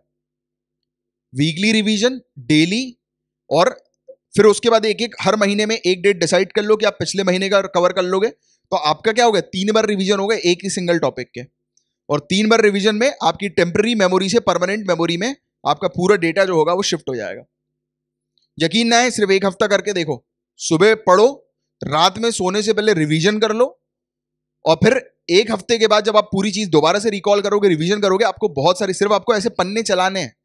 जो वो स्क्रॉल करने वाली जो पीडीएफ होती है मेरी, वो सिर्फ़ आपको स्क्रॉल करनी है उंगली से और पूरी चीज़ देखना आपकी आँखों के सामने आती है कि मैंने जो जो चीज़ें बताई गई है, वो आप फील करोगे पूरे इमेजिनेशन में कि हाँ ये बताया था, ये बताया था, ये और एक एक वर्ड नहीं पढ़ना है इसमें कि ये जो वर्ड लिखा है, ये पूरा पूरा वर्ड पढ़ रहा नहीं, इसको खोला हाँ क्या है? Faceless assessment faceless appeal taxpayer charter याद करो थोड़ा सा फेसलेस असेसमेंट में क्या मतलब मुश्किल से कुछ सेकंड्स देने आपको, यानी कि ये स्लाइड आपकी तीस सेकंड में कंप्लीट हो जानी चाहिए। क्योंकि मैं जो यहाँ पर आपको पढ़ाता हूँ, वो स्पेसिफिकली वही चीज़ पढ़ाता हूँ जो एग्जामिनेशन के लिए इंपॉर्टेंट है। चलो एनी सॉरी माफ़ी चाहूँगा, थोड़ा समय ले लिया, क्योंकि बहुत बहुत सारे बच्चे पूछ रहे थे कि, सर, इतना बल्कि पोर्शन है, थोड़ी स्ट्रैटेजी बता दो। चलो एनी आगे की बात करें। ट्रांसपेरेंट टैक्सेशन इसको हमने कवर किया हुआ है टेस्ट में बट इसको हम लोग थोड़ा सा डिटेल में पढ़ेंगे। तो एक टेक्नोलॉजी ड्रिवन सिस्टम ही हम लोग को देखने को मिलता है। अभी एट इसके तीन पिलर्स हैं फेसलेस असेसमेंट फेसलेस अपील्स और टैक्स पेयर चार्टर्स जिनमें से दो जो है, वो अभी शुरू हो गए हैं। एक जो शुरू होगा, वो 25 सितंबर को होगा पंडित दीनदयाल उपाध्याय जी की बर्थ एनिवर्सरी के अवसर पर। तो पहले बात करते हैं फेसलेस असेसमेंट के बारे में। तो देखिए इस पूरा कंप्यूटराइज सिस्टम हो गया है। कंप्यूटराइज सिस्टम से फ़ायदा यह होगा कि कौन मतलब टैक्स पेयर जो, जब उनकी स्क्रूटनी होगी, यानी कि उनकी जाँच होगी, देखो कई सारे जो टैक्स पेयर्स होते हैं, वो क्या करते हैं, जब अपना रिटर्न फ़ाइल करते हैं तो उसमें कुछ कुछ चीज़ें जो है वो घोटाला करने की कोशिश करते हैं कि मतलब जैसे कि मान के चलो बचाने की कोशिश करते हैं टैक्स को तो उसमें वो मतलब कुछ कुछ अपने सीए के पास जाकर कुछ कुछ चेंजेस लेकर आते हैं जिससे कि उनका टैक्स जो है वो थोड़ा कम हो जाए। इसकी पूरी जाँच होती है कि सामने वाले व्यक्ति ने टैक्स जो है वो प्रॉपर भरा कि नहीं भरा। जितना टैक्स उनको देना चाहिए, उनके स्लैब के अकॉर्डिंग वो है कि नहीं है। तो इसकी जाँच जो करते हैं वो ऑफिशियल्स करते हैं, ठीक है? अब ये जो ऑफिशियल जो उनकी जाँच करेंगे, वो पूरा रैंडम प्रोसेस होगी। कंप्यूटराइज से डिसाइड होगी ऑफिसर के पास चली जाएगी सामने वाली व्यक्ति की एप्लीकेशन और उस ऑफिसर को उसकी एप्लीकेशन देखना पड़ेगा। किसी को नहीं पता किसकी एप्लीकेशन किसके पास आ रही है और किसी को नहीं पता कि कौन, यानी कि जो सिटीजन को नहीं पता, जो टैक्स पेयर को नहीं पता कि उसकी एप्लीकेशन किस ऑफिशियल के पास जाएगी। इससे फ़ायदा क्या? इससे फ़ायदा ये कि करप्शन नहीं होगा थ्रेट्स नहीं होंगे। कई बार क्या होता है, जो ऑफिशियल्स अपनी तरफ़ से जो है वो करप्शन करने के लिए क्या करते हैं, सामने वाले व्यक्ति को डराते हैं, जैसे कि उससे उसको कुछ पैसा मिल जाए। और कई बार क्या होता है, जो जिसको घोटाला करने वाला, करना होता है, वो जाता है ऑफिशियल को थोड़ी लालच देता है कि मैं आपको इतने दे दूँगा आप थोड़ा मेरा काम कर दो, इसको ओके कर दो। अब ऐसे घोटाले वाली स्थिति पूरी की तरह से खत्म हो जाएगी। और टैक्स पेयर को किसी चीज़ का डर नहीं होगा कि सामने वाले ऑफिशियल के पास जाएँगे। जैसे पुलिस के सामने जाने में कई सारे लोग घबरा जाते हैं, डर जाते हैं कि यार ये क्योंकि जिन लोग को पता नहीं होता, जैसे आप सिविल सर्विसेज़ की तैयारी कर रहे हो, आपको पता है कि पुलिस आपका कुछ नहीं कर सकती अगर आप गलत नहीं हो तो राइट और बाकी काफ़ी सारे लोग डरते हैं, मेरे पर्सनल फैमिली में कुछ है मेंबर्स फैमिली मेंबर्स पुलिस वाले को देखकर उनको डर लगने लगता है एकदम। तो मैं उनको समझाता हूँ, डरने की ज़रूरत नहीं अगर आपने गलत नहीं किया है तो आप मत डरो किसी से। तो डरने लगते हैं। अब सामने वाला व्यक्ति जब डरेगा, तब कई सारे ऐसे ऑफिशियल्स होते हैं जिनको अपनी जेब भरने से मतलब होता है, जो करप्शन करने के लिए ड्यूटी ज्वाइन करते हैं तो वो क्या करते हैं? सामने वाले को देखा रही डर रहा है, बस उनका बिज़नेस शुरू. तो ये कहानी फिर खराब होती है। और वहीं दूसरी जगह, कई सारे लोग जो गलत करते हैं, वो ऑफिशियल को बहला फुसला के थोड़ा मैंने उनको वो करके कि आपको इतना दे देंगे, ये कर देंगे, कर लो आप थोड़ा। तो इनका काम हो जाता है। तो अब ये पूरी चीज़ें समाप्त। प्रॉपर तरीके से चीज़ें होंगी, कोई करप्शन नहीं होगा कोई पुलिस वाला सॉरी कोई टैक्स ऑफिशियल जो है वो धमकाएगा नहीं, किसी भी टैक्स पेयर को। उसके ऊपर प्रेशर नहीं क्रिएट करेगा, क्योंकि किसी को पता ही नहीं किसके पास किसकी फ़ाइल जा रही है। और जो टैक्स पेयर की फ़ाइल किसके पास जा रही है, और टैक्स ऑफिशियल को नहीं पता कि उसके पास किसकी फ़ाइल आ रही है। तो ये पूरा कंप्यूटर सिस्टम के ऊपर बेस्ड ये बेहतरीन चीज़ आ रही है फेसलेस असेसमेंट राइट इससे करप्शन रिड्यूस होगा थ्रेट्स रिड्यूस होंगे टैक्स पेयर को कॉन्फिडेंस आएगा, और उस वो सिस्टम के ऊपर बिलीव करना शुरू कर देगा। तो ये इसके पीछे का बैकग्राउंड प्रिंसिपल है। Right understanding the points next faceless appeal की बात करें। जैसे अपलेट सिस्टम होता है अपना। अपलेट सिस्टम यानी कि इसको कोर्ट से समझो आप। जैसे डिस्ट्रिक्ट कोर्ट होती है हाई कोर्ट होती है ऑनरेबल सुप्रीम कोर्ट होती है। डिस्ट्रिक्ट कोर्ट में मामला गया। मामला जो है, उसको चैलेंज किया जा सकता है। हाई कोर्ट के पास हाई कोर्ट का जो जजमेंट है, उसको चैलेंज किया जा सकता है। ऑनरेबल सुप्रीम कोर्ट के पास, ये वाली चीज़ आप जानते हो। सेम चीज़ यहीं पर ही है कि टैक्स ऑफिशियल जो है, उनके अगेंस्ट अपील की जा सकती है हायर अथॉरिटी के पास, और ये फेसलेस अपील पे आएगी। ये लॉन्च की जाएगी 25 सितंबर को दीनदयाल उपाध्याय जी की बर्थ एनिवर्सरी के अवसर पर। तो ये वाली चीज़ बाद में होगी। अभी जो है, ये दो चीज़ शुरू हो गई। तीसरा क्या है? टैक्स पेयर चार्टर चार्टर का मतलब गाइडलाइंस की गाइडलाइंस यहाँ पर मेंशन है कि टैक्स पेयर को किस प्रकार से कंडक्ट करना है, और ऑफिशियल्स को कैसा कंडक्ट करना है। इवन यहाँ पर गवर्नमेंट की भी रिस्पॉन्सिबिलिटी रिस्पॉन्सिबिलिटी लिखी हुई है। और ये वाली चीज़ अनाउंस की गई थी यूनियन बजट में इसी साल। जो ऑनेस्ट टैक्स पेयर है, उनकी राइट और ड्यूटीज़ मैंशनड है कि ऑनेस्ट टैक्स पेयर को क्या करना है? उनके राइट्स बताए गए हैं, उनकी ड्यूटीज़ बताई गई है राइट अब यहाँ पर पूरी चीज़ जो है वो टैक्स पर आकर क्यों काम कर रही है सरकार? क्योंकि आज की रेट का सिनेरियो आप समझो, आज की रेट में सरकार को चाहिए पैसा, क्योंकि इकोनॉमिक इकोनॉमी जो है वो डाउन होती जा रही है। सरकार की रेवेन्यू कहाँ से जनरेट होती है?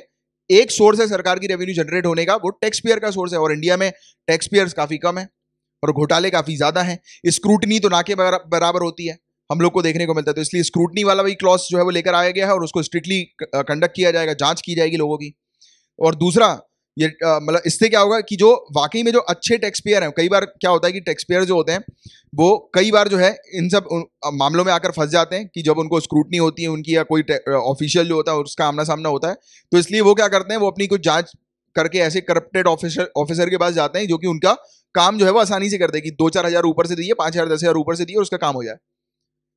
तो ऐसी चीज़ चल रही थी अभी तक। बट ये सब चीज़ें क्या है? ये सब सरकार के लिए प्रॉब्लम है। क्योंकि अगर करप्टेड ऑफिसर अगर पैसा ले लेगा तो सरकार के पास तो आया नहीं ना पैसा। सरकार के पास पैसा नहीं आएगा तो ग्रोथ एंड डेवलपमेंट कहाँ से होगा? पूरी चीज़ लिंक करो। ये लिंक करोगे तब आपको एग्जैक्ट कंसेप्ट समझ में आएगा कि इसके आने की क्या वजह है। क्योंकि आंसर में और या फिर प्रिलिम्स में भी अगर आता है, कई बार ऐसी चीज़ें भी लॉजिकल पूछ ली जाती है कि इसके पीछे, इसके आने की वजह क्या है? इन पॉइंट्स में से बताओ क्या है? तो ये सब पॉइंट्स पर आपको फोकस करना जो मैंने अभी आपको बताया। इसके अंदर बाकायदा टैक्स डिपार्टमेंट जो है, उसके क्या कमिटमेंट्स होंगे टैक्स पेयर को लेकर, वो पूरी चीज़ डिफाइंड है। इसमें मतलब बताया गया है कि किस प्रकार से गवर्नमेंट की रिस्पॉन्सिबिलिटी होगी टैक्स पेयर के टुवर्ड्स तो पूरी चीज़ यहाँ पर प्रॉपरली डिफाइंड की गई यानी कि एक प्रकार का चार्टर है। इसके अलावा राज्यसभा के अंदर जब ये आपने देखा होगा शायद कि इसके बारे में ऑनरेबल प्राइम मिनिस्टर ने अपनी स्पीच दी थी तो उसमें उन्होंने बोला था तीन चीज़ों के बारे में जो कि आज की डेट में सरकार कर रही है। बैंकिंग द अनबैंक यानी कि जिन लोग के पास बैंक्स नहीं है बैंक सर्विसेज़ नहीं है, उनको बैंकिंग सर्विसेज़ ऑफ़र करना। सिक्योरिंग द अनसिक्योर एक्जैक्टली ये तो इनसिक्योर होगा बट ऑनरेबल प्राइम मिनिस्टर ने अनसिक्योर बोला था तो मैंने एज इट इज़ यहाँ पर मैंशन किया आपके सामने। तो जो भी इनसिक्योर लोग हैं, उनको सिक्योर करना, जैसे कि जो लोग डरते थे, उनको, उनके अंदर से डर दूर करना मतलब गवर्नमेंट ऑफिशियल्स का राइट और ये उनको बताने की कोशिश कर रहे हैं कि गवर्नमेंट ऑफिशियल्स आपके लिए काम कर रहे हैं। और देखो, आज की डेट में चीज़ें चेंज हो रही हैं।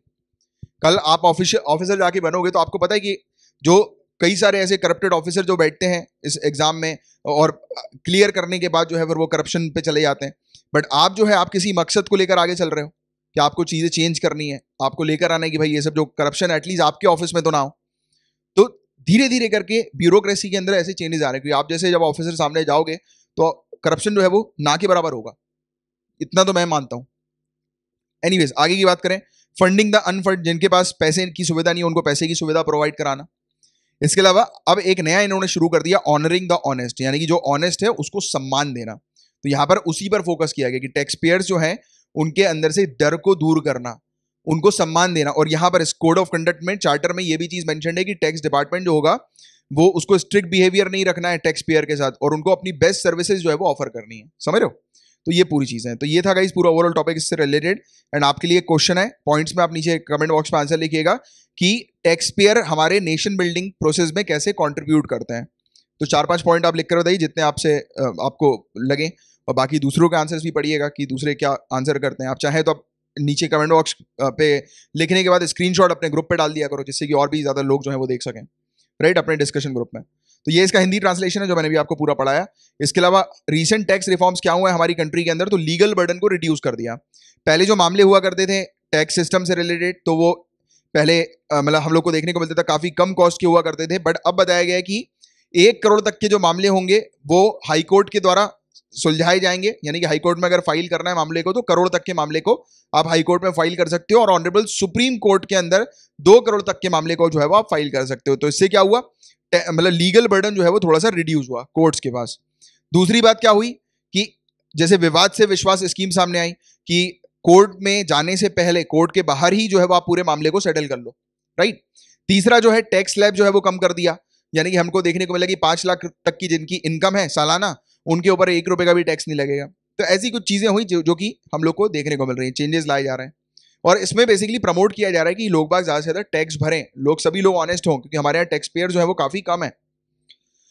नेक्स्ट जो आपका टॉपिक है गाइस ये डिफेंस मिनिस्टर ने अभी रिसेंटली लॉन्च किया है N I I O naval innovation and indigenisation organisation नाम से समझ में आ रहा है कि हमारी कंट्री की जो नेवल फोर्स है, उसके जो इक्विपमेंट्स होते हैं, जो पूरी चीज़ें होती हैं मतलब नेवल फोर्सेस के लिए जो रिक्वायरमेंट होती है, जैसे कि शिप वेसल हो गए, जैसे कि सबमरीन हो गई तो इस प्रकार की चीज़ें। तो ये सब चीज़ें जो है वो इंडिया के अंदर ही मैन्युफैक्चर की जाए और नए नए इनोवेशन हम लोग लेकर आएँ तो उसको लेकर ये ऑर्गेनाइजेशन, ये बॉडी हम लोग को देखने को मिल रही है। इंडिया को डिफेंस सेक्टर में सेल्फ सेल्फ रिलायंट बनाने के लिए, आत्मनिर्भर बनाने के लिए। इसके थ्री टीयर होंगे एनटेक एक वर्किंग ग्रुप और दूसरी टी टैक तो ये क्या है? NTAC naval technology acceleration council नाम से समझ आ रहा है।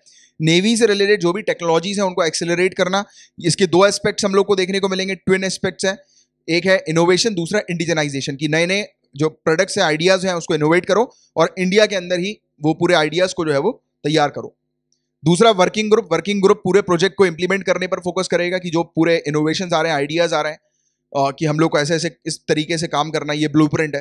तो उस ब्लूप्रिंट को एक्चुअल प्रैक्टिकली इंप्लीमेंट करने का काम जो होगा वो इस वर्किंग ग्रुप का होगा जो हम लोग को देखने को मिलेगी। इसके अंदर हम लोग को एक टी डैक भी देखने को मिल रहा है टेक्नोलॉजी ड्रिवन एक्सेलरेशन सेल इस सेल का काम क्या होगा कि जो भी, जैसे कि नई नई टेक्नोलॉजी और ऑल ओवर द वर्ल्ड जो है, हम लोग को देखने को मिल रही है। ऑल ओवर द वर्ल्ड नई नई टेक्नोलॉजी जो है, आती जा रही है। तो उन नई नई टेक्नोलॉजी को जो है वो एक्सेलरेट करना है। हमारी कंट्री के अंदर और भी टेक्नोलॉजी जो है वो इस प्रकार की और आए, ज़्यादा आए। अंडरस्टैंडिंग इट तो इसका पूरा पर्पज सिर्फ़ इतना है, जिसके बारे में आपको एक आइडिया होना चाहिए। बाकी एक ड्राफ्ट सामने आया था, जिसके बारे में हम लोगों ने चर्चा करी थी छह अगस्त 2020 को अपने current affairs by Kamalaksh Jha channel पे। तो आप क्या कर सकते हैं, छह अगस्त 2020 और मेरा नाम लिख दीजिएगा तो सबसे पहले वाला जो वीडियो आएगा वो यही वाला आएगा। तो इस वीडियो को आप देख लीजिएगा, इस वीडियो में आप जाइएगा सोलह मिनट पे एक्जैक्टली तो आपको ये ड्राफ्ट जो है वो मिल जाएगा। ठीक है, इसको एक बार पूरा देख लीजिएगा, इसमें आने वाले समय में क्या क्या पॉलिसी जो है वो डिफेंस सेक्टर में हम लोग को देखने को मिलेगी। तो उसको लेकर ये ड्राफ्ट था और इसी में, इसी चीज़ के बारे में डिस्कस किया गया था कि एक इनोवेशन और इंडिजनाइजेशन ऑर्गेनाइजेशन जो है वो स्टैब्लिश करना है एक्जिस्टिंग रिसोर्सेज के साथ, यानी कि एग्जिस्टिंग बॉडी के अंदर। तो ये जो है वो हम लोग को देखने को मिल रहा है, जो कि आज की डेट में लागू हो गया लॉन्च कर दिया गया है। सार्थक की बात करें तो ये देखो आप, ये वेसल आपको दिखाई दे रही है, सार्थक। तो ये Indian coast guard offshore patrol vessel है। पेट्रोल वेसल यानी कि पेट्रोलिंग के लिए की जाती है, यानी कि निगरानी रखने के लिए। हमारे जो समुद्री एरिया है, वहाँ पे। तो इस ये अभी रिसेंटली लॉन्च हुई है। टोटल पाँच ही हम लोग को देखने को मिल रही है। उसकी ये चौथी सीरीज़ है। इसको डिज़ाइन और बिल्ड किया गया है इंडिया के अंदर ही गोवा शिपयार्ड लिमिटेड के द्वारा। सिंपल सी चीज़ बस ये। सार्थक से रिलेटेड आपको पता होनी चाहिए। नेक्स्ट जो अपना टॉपिक है इसमें ऑर्गेनिक फ़ार्मिंग की बात हो रही है। इंडिया के अंदर ऑर्गेनिक फ़ार्मिंग पर फोकस हो रहा है। ये देखो अभी क्या हुआ है? कोरोना वायरस के चलते हमने देखा कि लो, लोग जो है उनके अंदर अवेयरनेस क्रिएट हो गई है। लोग आज की डेट में सोच रहे हैं भाई खाना खाएँ तो हेल्दी खाएँ। क्योंकि लोगों को समझ में आ गया, जिनकी इम्यूनिटी खराब है, उनकी बैंड बजनी है। और ये तो अभी शुरुआत है, आने वाले समय में और भी चीज़ें आ रही हैं। कंटिन्यूसली चाइना एक के बाद एक बम फोड़ता जा रहा है। अभी आज की न्यूज़ में आगे और भी देखेंगे। काफ़ी सारे बम जो है वो फोड़े हुए हैं चाइना नई नई प्रकार की डिज़ीज़ आ गई है उसके यहाँ। तो अब लोग फोकस कर रहे हैं कि अब वो जो भी अपनी बॉडी में डालें, जैसे कहते हैं ना कि आपका जो सबसे अच्छा दोस्त होता है, आपकी बॉडी होती है। अगर आपकी बॉडी खराब होगी तो ऑब्वियस ही बात है कि कहीं कॉन्सेंट्रेट आप पढ़ाई भी कर रहे हो, अगर बॉडी में कुछ प्रॉब्लम है तो पढ़ाई करने में कॉन्सेंट्रेशन नहीं लगेगा। बड़ी तकलीफ़ होती है। तो इसलिए बॉडी को हमेशा फिट रखो अच्छा रखो। और आज की डेट में बहुत चीज़ें चेंज हो गई लोगों की मेंटालिटी आइडिया चेंज हो गए आज की डेट में लोग बाग, वाकई में पता लिटरली मैंने खुद देखा हुआ है कि काफ़ी सारे लोग आज की डेट में हाइजीन पर फोकस कर रहे हैं। एक तो उनको डर भी लग रहा है कि यार, बाहर कहीं से खाएँगे तो कुछ दिक्कत ना हो जाए। और काफ़ी सारे लोगों ने तो घर का खाना शुरू कर दिया। मैं बहुत बड़ा फूडी हूँ बट मैंने अपने घर पे अब से खाना शुरू कर दिया। बट क्यों? क्योंकि द रीजन बींग इज़ यार कि और मुझ, मैं मुझे उल्टी सीधी चीज़ें बहुत पसंद थी। मतलब बर्गर खा लिया पिज़्ज़ा खा लिया। मैंने बीच में आप स्टूडेंट्स लोग से बोला भी था एक आध साल पहले कि मैं रेजोल्यूशन लूँगा कि मैं जो है वो इस टाइप का नहीं खाऊँगा। बट बहुत मन करता है यार एकदम देख लो तो एकदम क्या पास्ता और ये वो। मज़ा आ जाता है। बट अब जो है चीज़ें चेंज हो रही हैं क्योंकि मतलब अपन रियलाइज़ कर रहे हैं कि यार ये सब चीज़ें जो है वो हमारी बॉडी के लिए खराब है और जिसकी इम्यूनिटी अच्छी है वो जो है वो जी सकता है।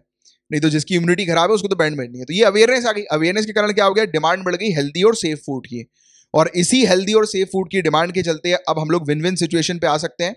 हमारे जो किसान हैं, हमारे जो कंज्यूमर है और एनवायरमेंट ये सभी को फ़ायदा होगा। किसान जो है गई वो ऑर्गेनिक फ़ार्मिंग पर फोकस करेंगे राइट उनको रिटर्न अच्छा मिलेगा राइट हेल्दी अगर वो ऑब्वियसली बात है कि अगर कोई ऑर्गेनिक फ़ार्मिंग पर फोकस करते हैं तो लोग आज की रेट में हेल्दी खाना पसंद कर रहे हैं। किसान बोलेगा कि हमारे पास हमारे जो खेत में जो खेती हुई है तो उसमें किसी भी प्रकार के केमिकल फर्टिलाइजर्स का उपयोग नहीं हुआ है।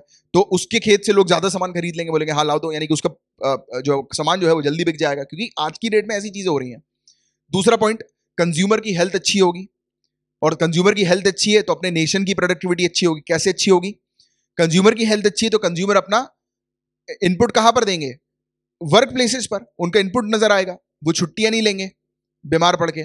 उनका इनपुट अच्छा रहेगा, अगर वो काम करेंगे, पैसा कमाएँगे तो अल्टीमेटली सरकार को पैसा देंगे और ये पूरा इकोनॉमिक सिस्टम चलेगा। वही मतलब पूरा सर्कल जो हम लोग को देखने को मिलता है जिसमें कि स्पेंडिंग का सर्कल जो मैंने आपको कई बार पढ़ा है कि इकोनॉमी को अगर चलाना है तो स्पेंड करना बहुत ज़रूरी है। और स्पेंड लोग जब भी करेंगे, जो, जब लोग अच्छा इनकम करेंगे, कमाएँगे राइट तीसरा पॉइंट इन्वायरमेंट इन्वायरमेंट को फ़ायदा फ़ायदा कैसे होगा?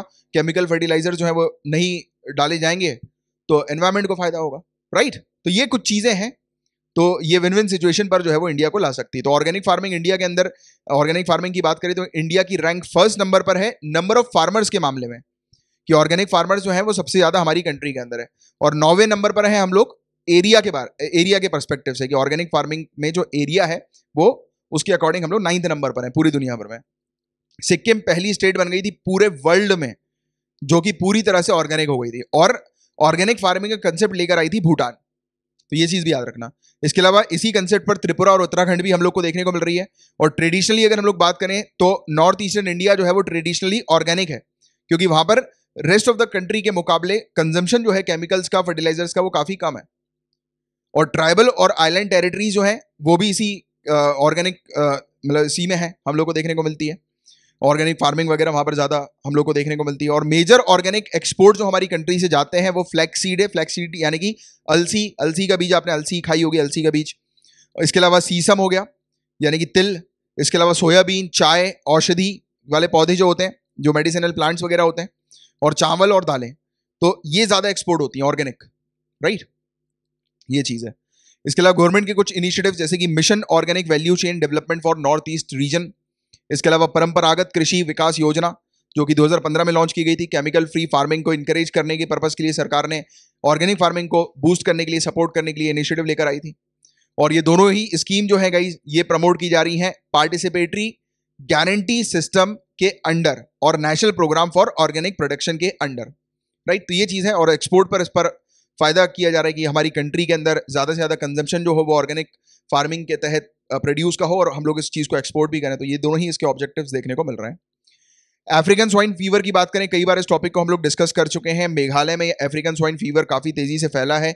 सत्रह हज़ार से ज़्यादा सुअरों की मृत्यु हो गई है। काफ़ी तेज़ी से फैलने वाली ये बीमारी है अफ्रीकन स्वाइन फीवर आसाम में ये फैल गई है। फेबररी में आसाम के अंदर सत्रह हज़ार से ज़्यादा जो सुअर हैं, उनकी मौत हो गई थी। और अरुणाचल प्रदेश में मौत के आंकड़े जो है वो अभी क्लियर नहीं है। और माना जाता है कि चाइना से ये बीमारी जो है वो इंडिया में ट्रांसमिट हुई है। हमारे यहाँ के, हमारी कंट्री के सुअरों पे। तो आज की डेट में ये कंसर्न वाली बात क्यों है? इतनी भारी मात्रा में जो सुअर मर रहे हैं, उससे नुकसान क्या है?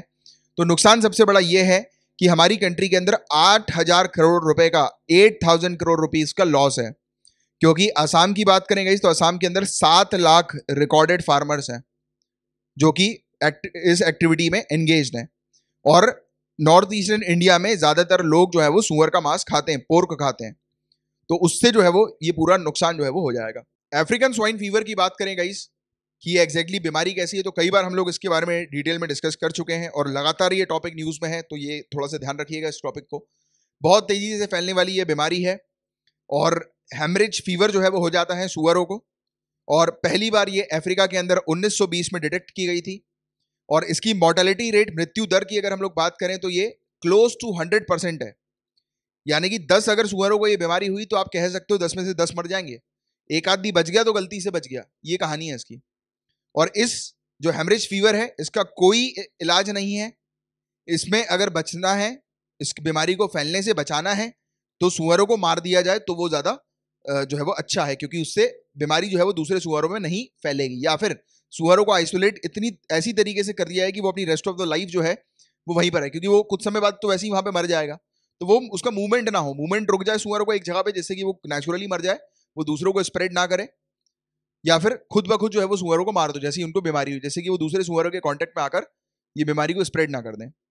राइट और कहा जाता है कि ह्यूमन को इससे खतरा नहीं है बट फिर भी प्रोटेक्टिव रहने की आवश्यकता है।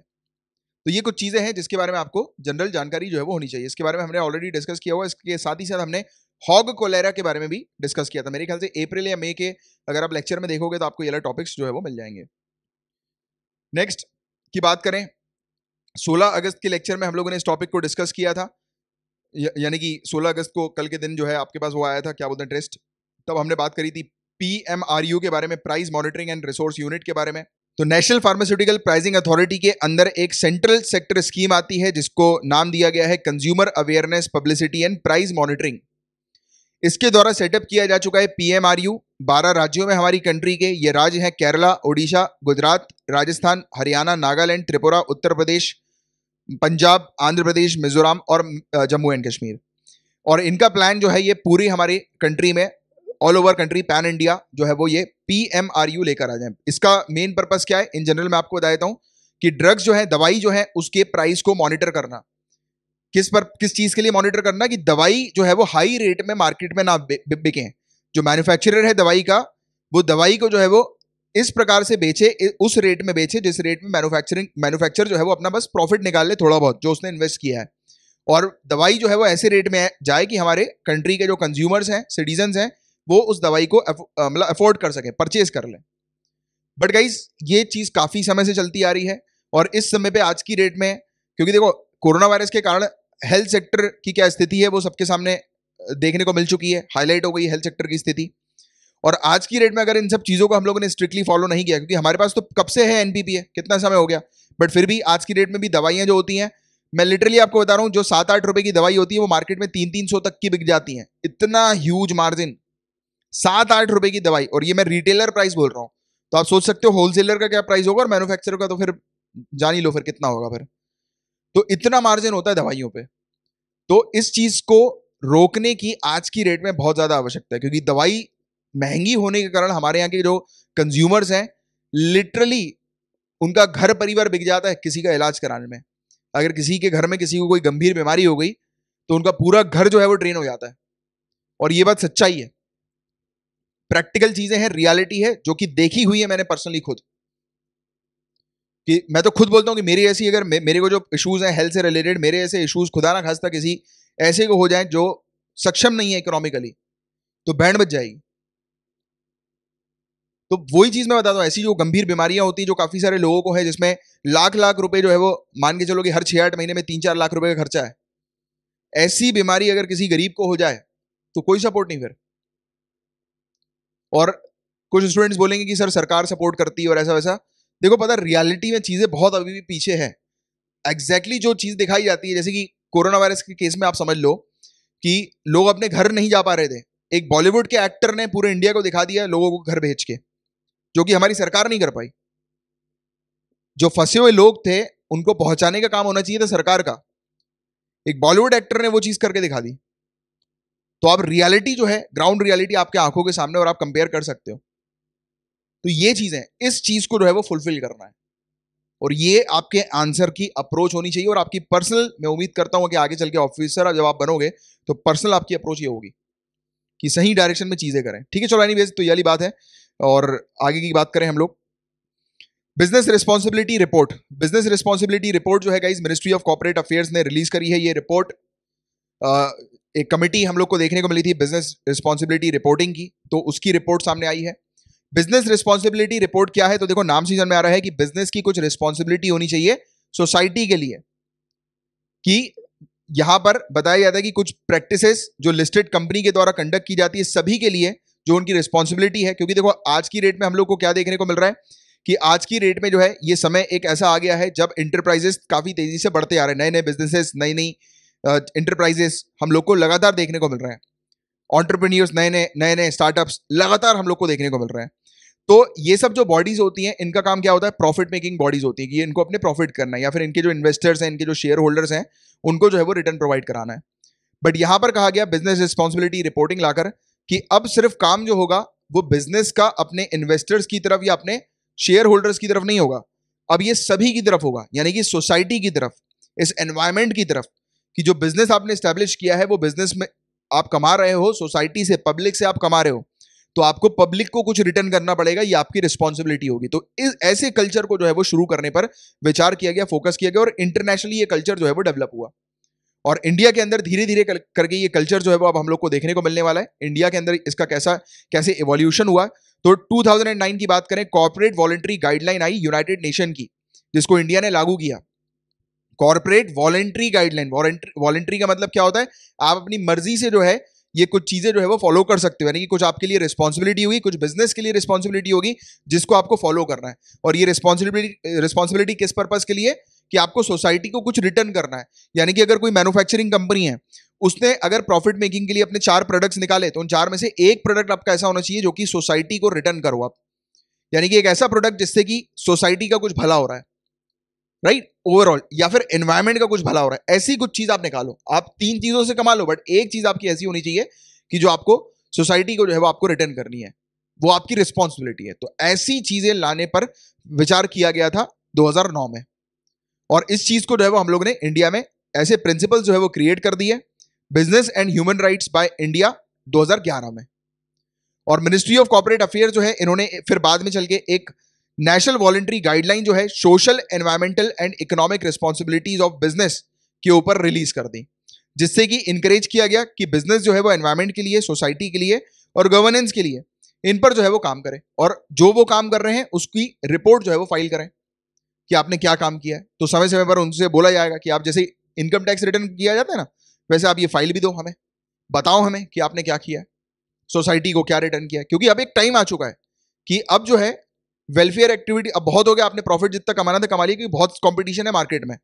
बट अब आपको सोसाइटी के लिए रिटर्न करना है, क्योंकि आपने सोसाइटी से कमाया तो इस प्रकार का कल्चर जो है वो ऑल ओवर द वर्ल्ड जो है वो अब डेवलप हो रहा है। और ये एक अच्छे वर्ल्ड की तरफ़ जो है वो लेकर जाती है पूरी चीज़ें, कि आप कमाओ भी और दूसरों के लिए भी काम करो। राइट तो ये बहुत अच्छी अप्रोच है। और ये आप अपने मेन्स में भी ज़रूर उपयोग कीजिएगा। Security and exchange board of India ने बाद में चल के टॉप हंड्रेड लिस्टेड कंपनी जो है, उनके लिए ये चीज़ मैंडेटरी कर दी थी। कि जितनी भी टॉप हंड्रेड लिस्टेड कंपनीज़ हैं, उनको अपनी बिज़नेस रिस्पॉन्सिबिलिटी रिपोर्ट जो है वो फ़ाइल करनी होगी। और ये 2012 में किया गया। फिर इस 100 को बढ़ाकर 500 कर दिया गया और आज की डेट में हम लोग को 1000 कंट्रीज़ देखने को मिलती हैं जो लिस्टेड कंपनीज़ है टॉप 1000 लिस्टेड कंपनीज़ उनके लिए अब ये मैंडेटरी है कि उनको अपनी बिज़नेस रिस्पॉन्सिबिलिटी रिपोर्ट जो है वो फ़ाइल करनी पड़ेगी। मिनिस्ट्री ऑफ़ कॉपरेट अफेयर्स के पास। और नेशनल गाइडलाइंस जो है ये फिर 2019 में आई और इसी गाइडलाइंस के तहत हम लोग को देखने को मिला कि टॉप 1000 जो है वो कर दिया गया कि टॉप 1000 कंट्रीज़ सॉरी टॉप 1000 जो कंपनीज़ हैं तो उनके लिए जो है ये मैंडेटरी हम लोग को देखने को मिल रहा है। ये देखो टॉप 1000 लिस्टेड कंपनीज़ तो उनके लिए मैंडेटरी है कि उनको ये रिपोर्ट जो है वो फ़ाइल करनी है। ठीक है तो ये वाली चीज़ हम लोग को देखने को मिल रही है और यहाँ पर इसमें रिकमेंडेशन भी कुछ इस प्रकार के लाए गए। कि ये चीज़ कही गई कि जो अनलिस्टेड कंपनीज़ वगैरह जो होती हैं, उनके लिए भी स्पेसिफाई करो कि उनका जो टर्नओवर है या पेड अप कैपिटल जो है, वो कितना होना चाहिए। यानी कि एक क्राइटेरिया ऐसे सेट करो कि इसके ऊपर, यानी कि एक टर्नओवर जो सेट किया, उसके ऊपर अगर आपका बिज़नेस जा रहा है तो आपके लिए भी फिर ये मैंडेटरी है कि आपको बिज़नेस रिस्पॉन्सिबिलिटी रिपोर्टिंग जो है वो फ़ाइल करनी होगी या रिपोर्ट फ़ाइल करनी होगी। ठीक है? तो ये सब चीज़ें कुछ इस प्रकार की हम लोग को यहाँ पर देखने को मिली। तो इसका एक बस जनरल बेसिक आइडिया आपको होना चाहिए, ज़्यादा डिटेल में नहीं आना है। जितनी चीज़ मैंने आपको बताई है, वो एग्जामिनेशन परस्पेक्टिव से सफिशियंट है।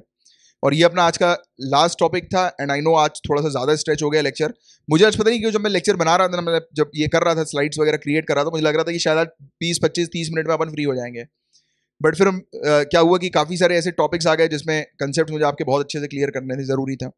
राइट बट अभी रुकिए जाइएगा नहीं अगर आप नए आए हैं रेगुलर व्यूअर्स को तो ऑलरेडी पता है इसकी मैं आप लोग को इसकी पीडीएफ इस पूरे लेक्चर की पीडीएफ जो है minimum hundred rupees per month में प्रोवाइड कराता हूँ. पीडीएफ होने से आपको फ़ायदा ये होता है कि आपको रेगुलरली करेंट अफेयर्स पे अपने टाइम को वेस्ट करने की ज़रूरत नहीं है। आप सिर्फ़ लेक्चर सुनो रात रात में रिविजन करो, उस बीच आप मेन्स आंसर राइटिंग की प्रैक्टिस करो। उस बीच ये जो होमवर्क दे रहा हूँ, वो आप कंप्लीट करो। तो आपका टाइम बचेगा, क्योंकि अगर आप हैंड एंड नोट्स जो है वो लगातार बनाते रहोगे रेगुलर बेसिस पे तो आपका टाइम बहुत कंज्यूम होगा। इसीलिए मैंने आप लोगों के लिए मिनिमम हंड्रेड रुपीज़ रेट रखा है। एक महीने का, पूरे महीने में मात्र हंड्रेड रुपीज़ में मिनिमम हंड्रेड रुपीज़ में आपको डेली लेक्चर्स की पीडीएफ मिलेगी, जो मैं आपको पढ़ा रहा हूँ, आपको जो स्क्रीन में दिख रहा है, इसकी पूरी पीडीएफ आपको मिलेगी डेली संडे को करंट अफेयर्स का एक टेस्ट आता है, उसकी पीडीएफ भी दूँगा। वीकली एक कंपाइलेशन में आपको प्रोवाइड कराऊँगा। कंपाइलेशन यानी कि सभी पिछले हफ़्ते की पूरी जो पीडीएफ होती है, वो एक सिंगल पीडीएफ में। जैसे कि आप एक क्लिक करें, आपको बार बार अलग अलग पीडीएफ भी खोलने में टाइम वेस्ट नहीं करना। एक क्लिक करो, पूरे आपके लिए अवेलेबल है। ऐसा ही सेम मंथ के एंड में भी आता है। और इसके बाद से अभी 10 अगस्त 2020 से शुरू किया गया है कि आपको इंग्लिश हिंदी अलग अलग एक छोटी सी हैंडआउट्स प्रोवाइड किया जाएगा, जिसको आप प्रिंट आउट करा सकते हैं। जिसमें पूरा का पूरा जो स्टडी मटेरियल है, यानी कि जो राइटिंग वाला जो कंटेंट कंटेंट है रिटर्न कंटेंट ये नोट्स वगैरह, ये पूरे के पूरे आपको मिल जाएँगे। जिसको आप प्रिंट आउट करा सकते हो, पचास सौ ज़्यादा मैक्सिमम सौ पेजेस के होंगे, पचास से अस्सी पेज में खत्म हो जाएगा वैसे तो वो। पूरे महीने का। तो ऐसी चीज़ जो है वो आप लोग को ये सर्विसेज़ में प्रोवाइड कराऊँगा। इसका rate minimum hundred rupees per month का है। मिनिमम उन स्टूडेंट्स के लिए जो अफोर्ड नहीं कर सकते। और गाइज़ अगर आप अफोर्ड कर सकते हैं तो आप चैनल को कंट्रीब्यूट करने के पर्पज से, मुझे सपोर्ट करने के पर्पज से, मेरी मेहनत को देखते हुए आपको जो ठीक लगे, वो आप अपना कॉन्ट्रीब्यूशन चैनल के लिए दे सकते हैं। राइट और आपके सपोर्ट से मुझे काफ़ी हेल्प मिलती है और आप ही के सपोर्ट से ये चैनल जो है वो पूरा चलता रहता है। तो इस चैनल के इसलिए मैं हमेशा कहता हूँ कि ये चैनल जो है वो आप ही का चैनल है, क्योंकि आप इस चैनल के ओनर्स हो राइट तो जो आप ही की वजह से ये चैनल जो है वो चलता रहता है और इसी प्रकार से मैं काम करता रहता हूँ। तो आपने चैनल को सब्सक्राइब नहीं किया तो कर लीजिएगा बेल आइकन पे भी हिट कीजिएगा अच्छा लगा लेक्चर तो लाइक ज़रूर कीजिएगा और आप मुझे फेसबुक पर फॉलो कर सकते हैं और ये अपना टेलीग्राम का चैनल है। होमवर्क्स की बात कर लें होमवर्क्स कौन से कौन से आज के? तो ये तीन होमवर्क्स हैं आपके लिए। ईज ऑफ़ डूइंग बिज़नेस इसकी ये लिंक आपको दे रखी है मैंने तो इससे आप जो है वो जाकर कवर कर सकते हैं ईज ऑफ़ डूइंग बिज़नेस हालाँकि पहले भी हम लोगों ने पढ़ा हुआ है ये वाला टॉपिक अक्टूबर फोर्थ वीक के अगर आप लेक्चर में जाओगे तो आपको ये मिल जाएगा। अच्छा एक और चीज़ आपको बतानी थी, एक ऑफ़र भी आप लोगों के लिए। ऑफ़र ये है कि अगर एडवांस में आप पाँच महीने की एक साथ पेमेंट करते हैं, यानी कि अगस्त से लेकर दिसंबर तक की तो आपको 2019 जून से लेकर 2020 जुलाई तक की पीडीएफ जो है मैं फ्री में आपको प्रोवाइड कराऊँगा। तो ये ऑफ़र सिर्फ़ अगस्त मंथ के लिए है। एंड सेकेंडली जिन स्टूडेंट्स ने ऑलरेडी अगस्त में इनरोल कर दिया है तो आप सिर्फ़, आपको सिर्फ़ चार महीने की एक्स्ट्रा यानी कि अगर आप अगस्त वाले पेड कोर्स में ऑलरेडी हैं तो आप चार महीने की जो है वो एडवांस में पेमेंट करके, यानी कि दिसंबर तक की पेमेंट करके जो है वो आप ये वाला ऑफ़र अवेल कर सकते हैं। तो ऐसा नहीं किया मैंने कि जिनने ऑलरेडी ले ली, उनको भी पाँच सौ देना, नहीं। ऐसा सिस्टम ही नहीं है मेरा। मैंने रेट सिर्फ़ स्टूडेंट्स के लिए रखा है, क्योंकि मुझे पता है कि जो स्टूडेंट्स हैं, उनको प्रॉपर पूरा बेनिफिट मिलना चाहिए। और एक बार जब आपका सिलेक्शन हो जाएगा तो मुझे पता है कि आप सभी लोग मुझे सपोर्ट कर ही दोगे, अच्छे से। राइट चलो एनीवेज आगे की बात करें अफ्रीकन स्वाइन फीवर जो है, दूसरा टॉपिक है। जिसको आपको थोड़ा पढ़ना है अप्रैल में 2020 की पीडीएफ इसको देख लीजिएगा। इसमें आपको हॉग कोलेरा भी दिखाई देगा। हॉग कोलेरा ये भी एक बार पढ़ लेना। ज़ीरो बजट नेचुरल फ़ार्मिंग इसको हम लोगों ने जनवरी में कवर किया हुआ है तो इसको आप जनवरी की पीडीएफ से जो है वो पढ़ सकते हैं। तो ये हो गया इस पूरे ओवरऑल आज के दिन का कंप्लीट एंड अब हम लोग मिलेंगे कल। तब तक लिए bye take care have a great day guys tata.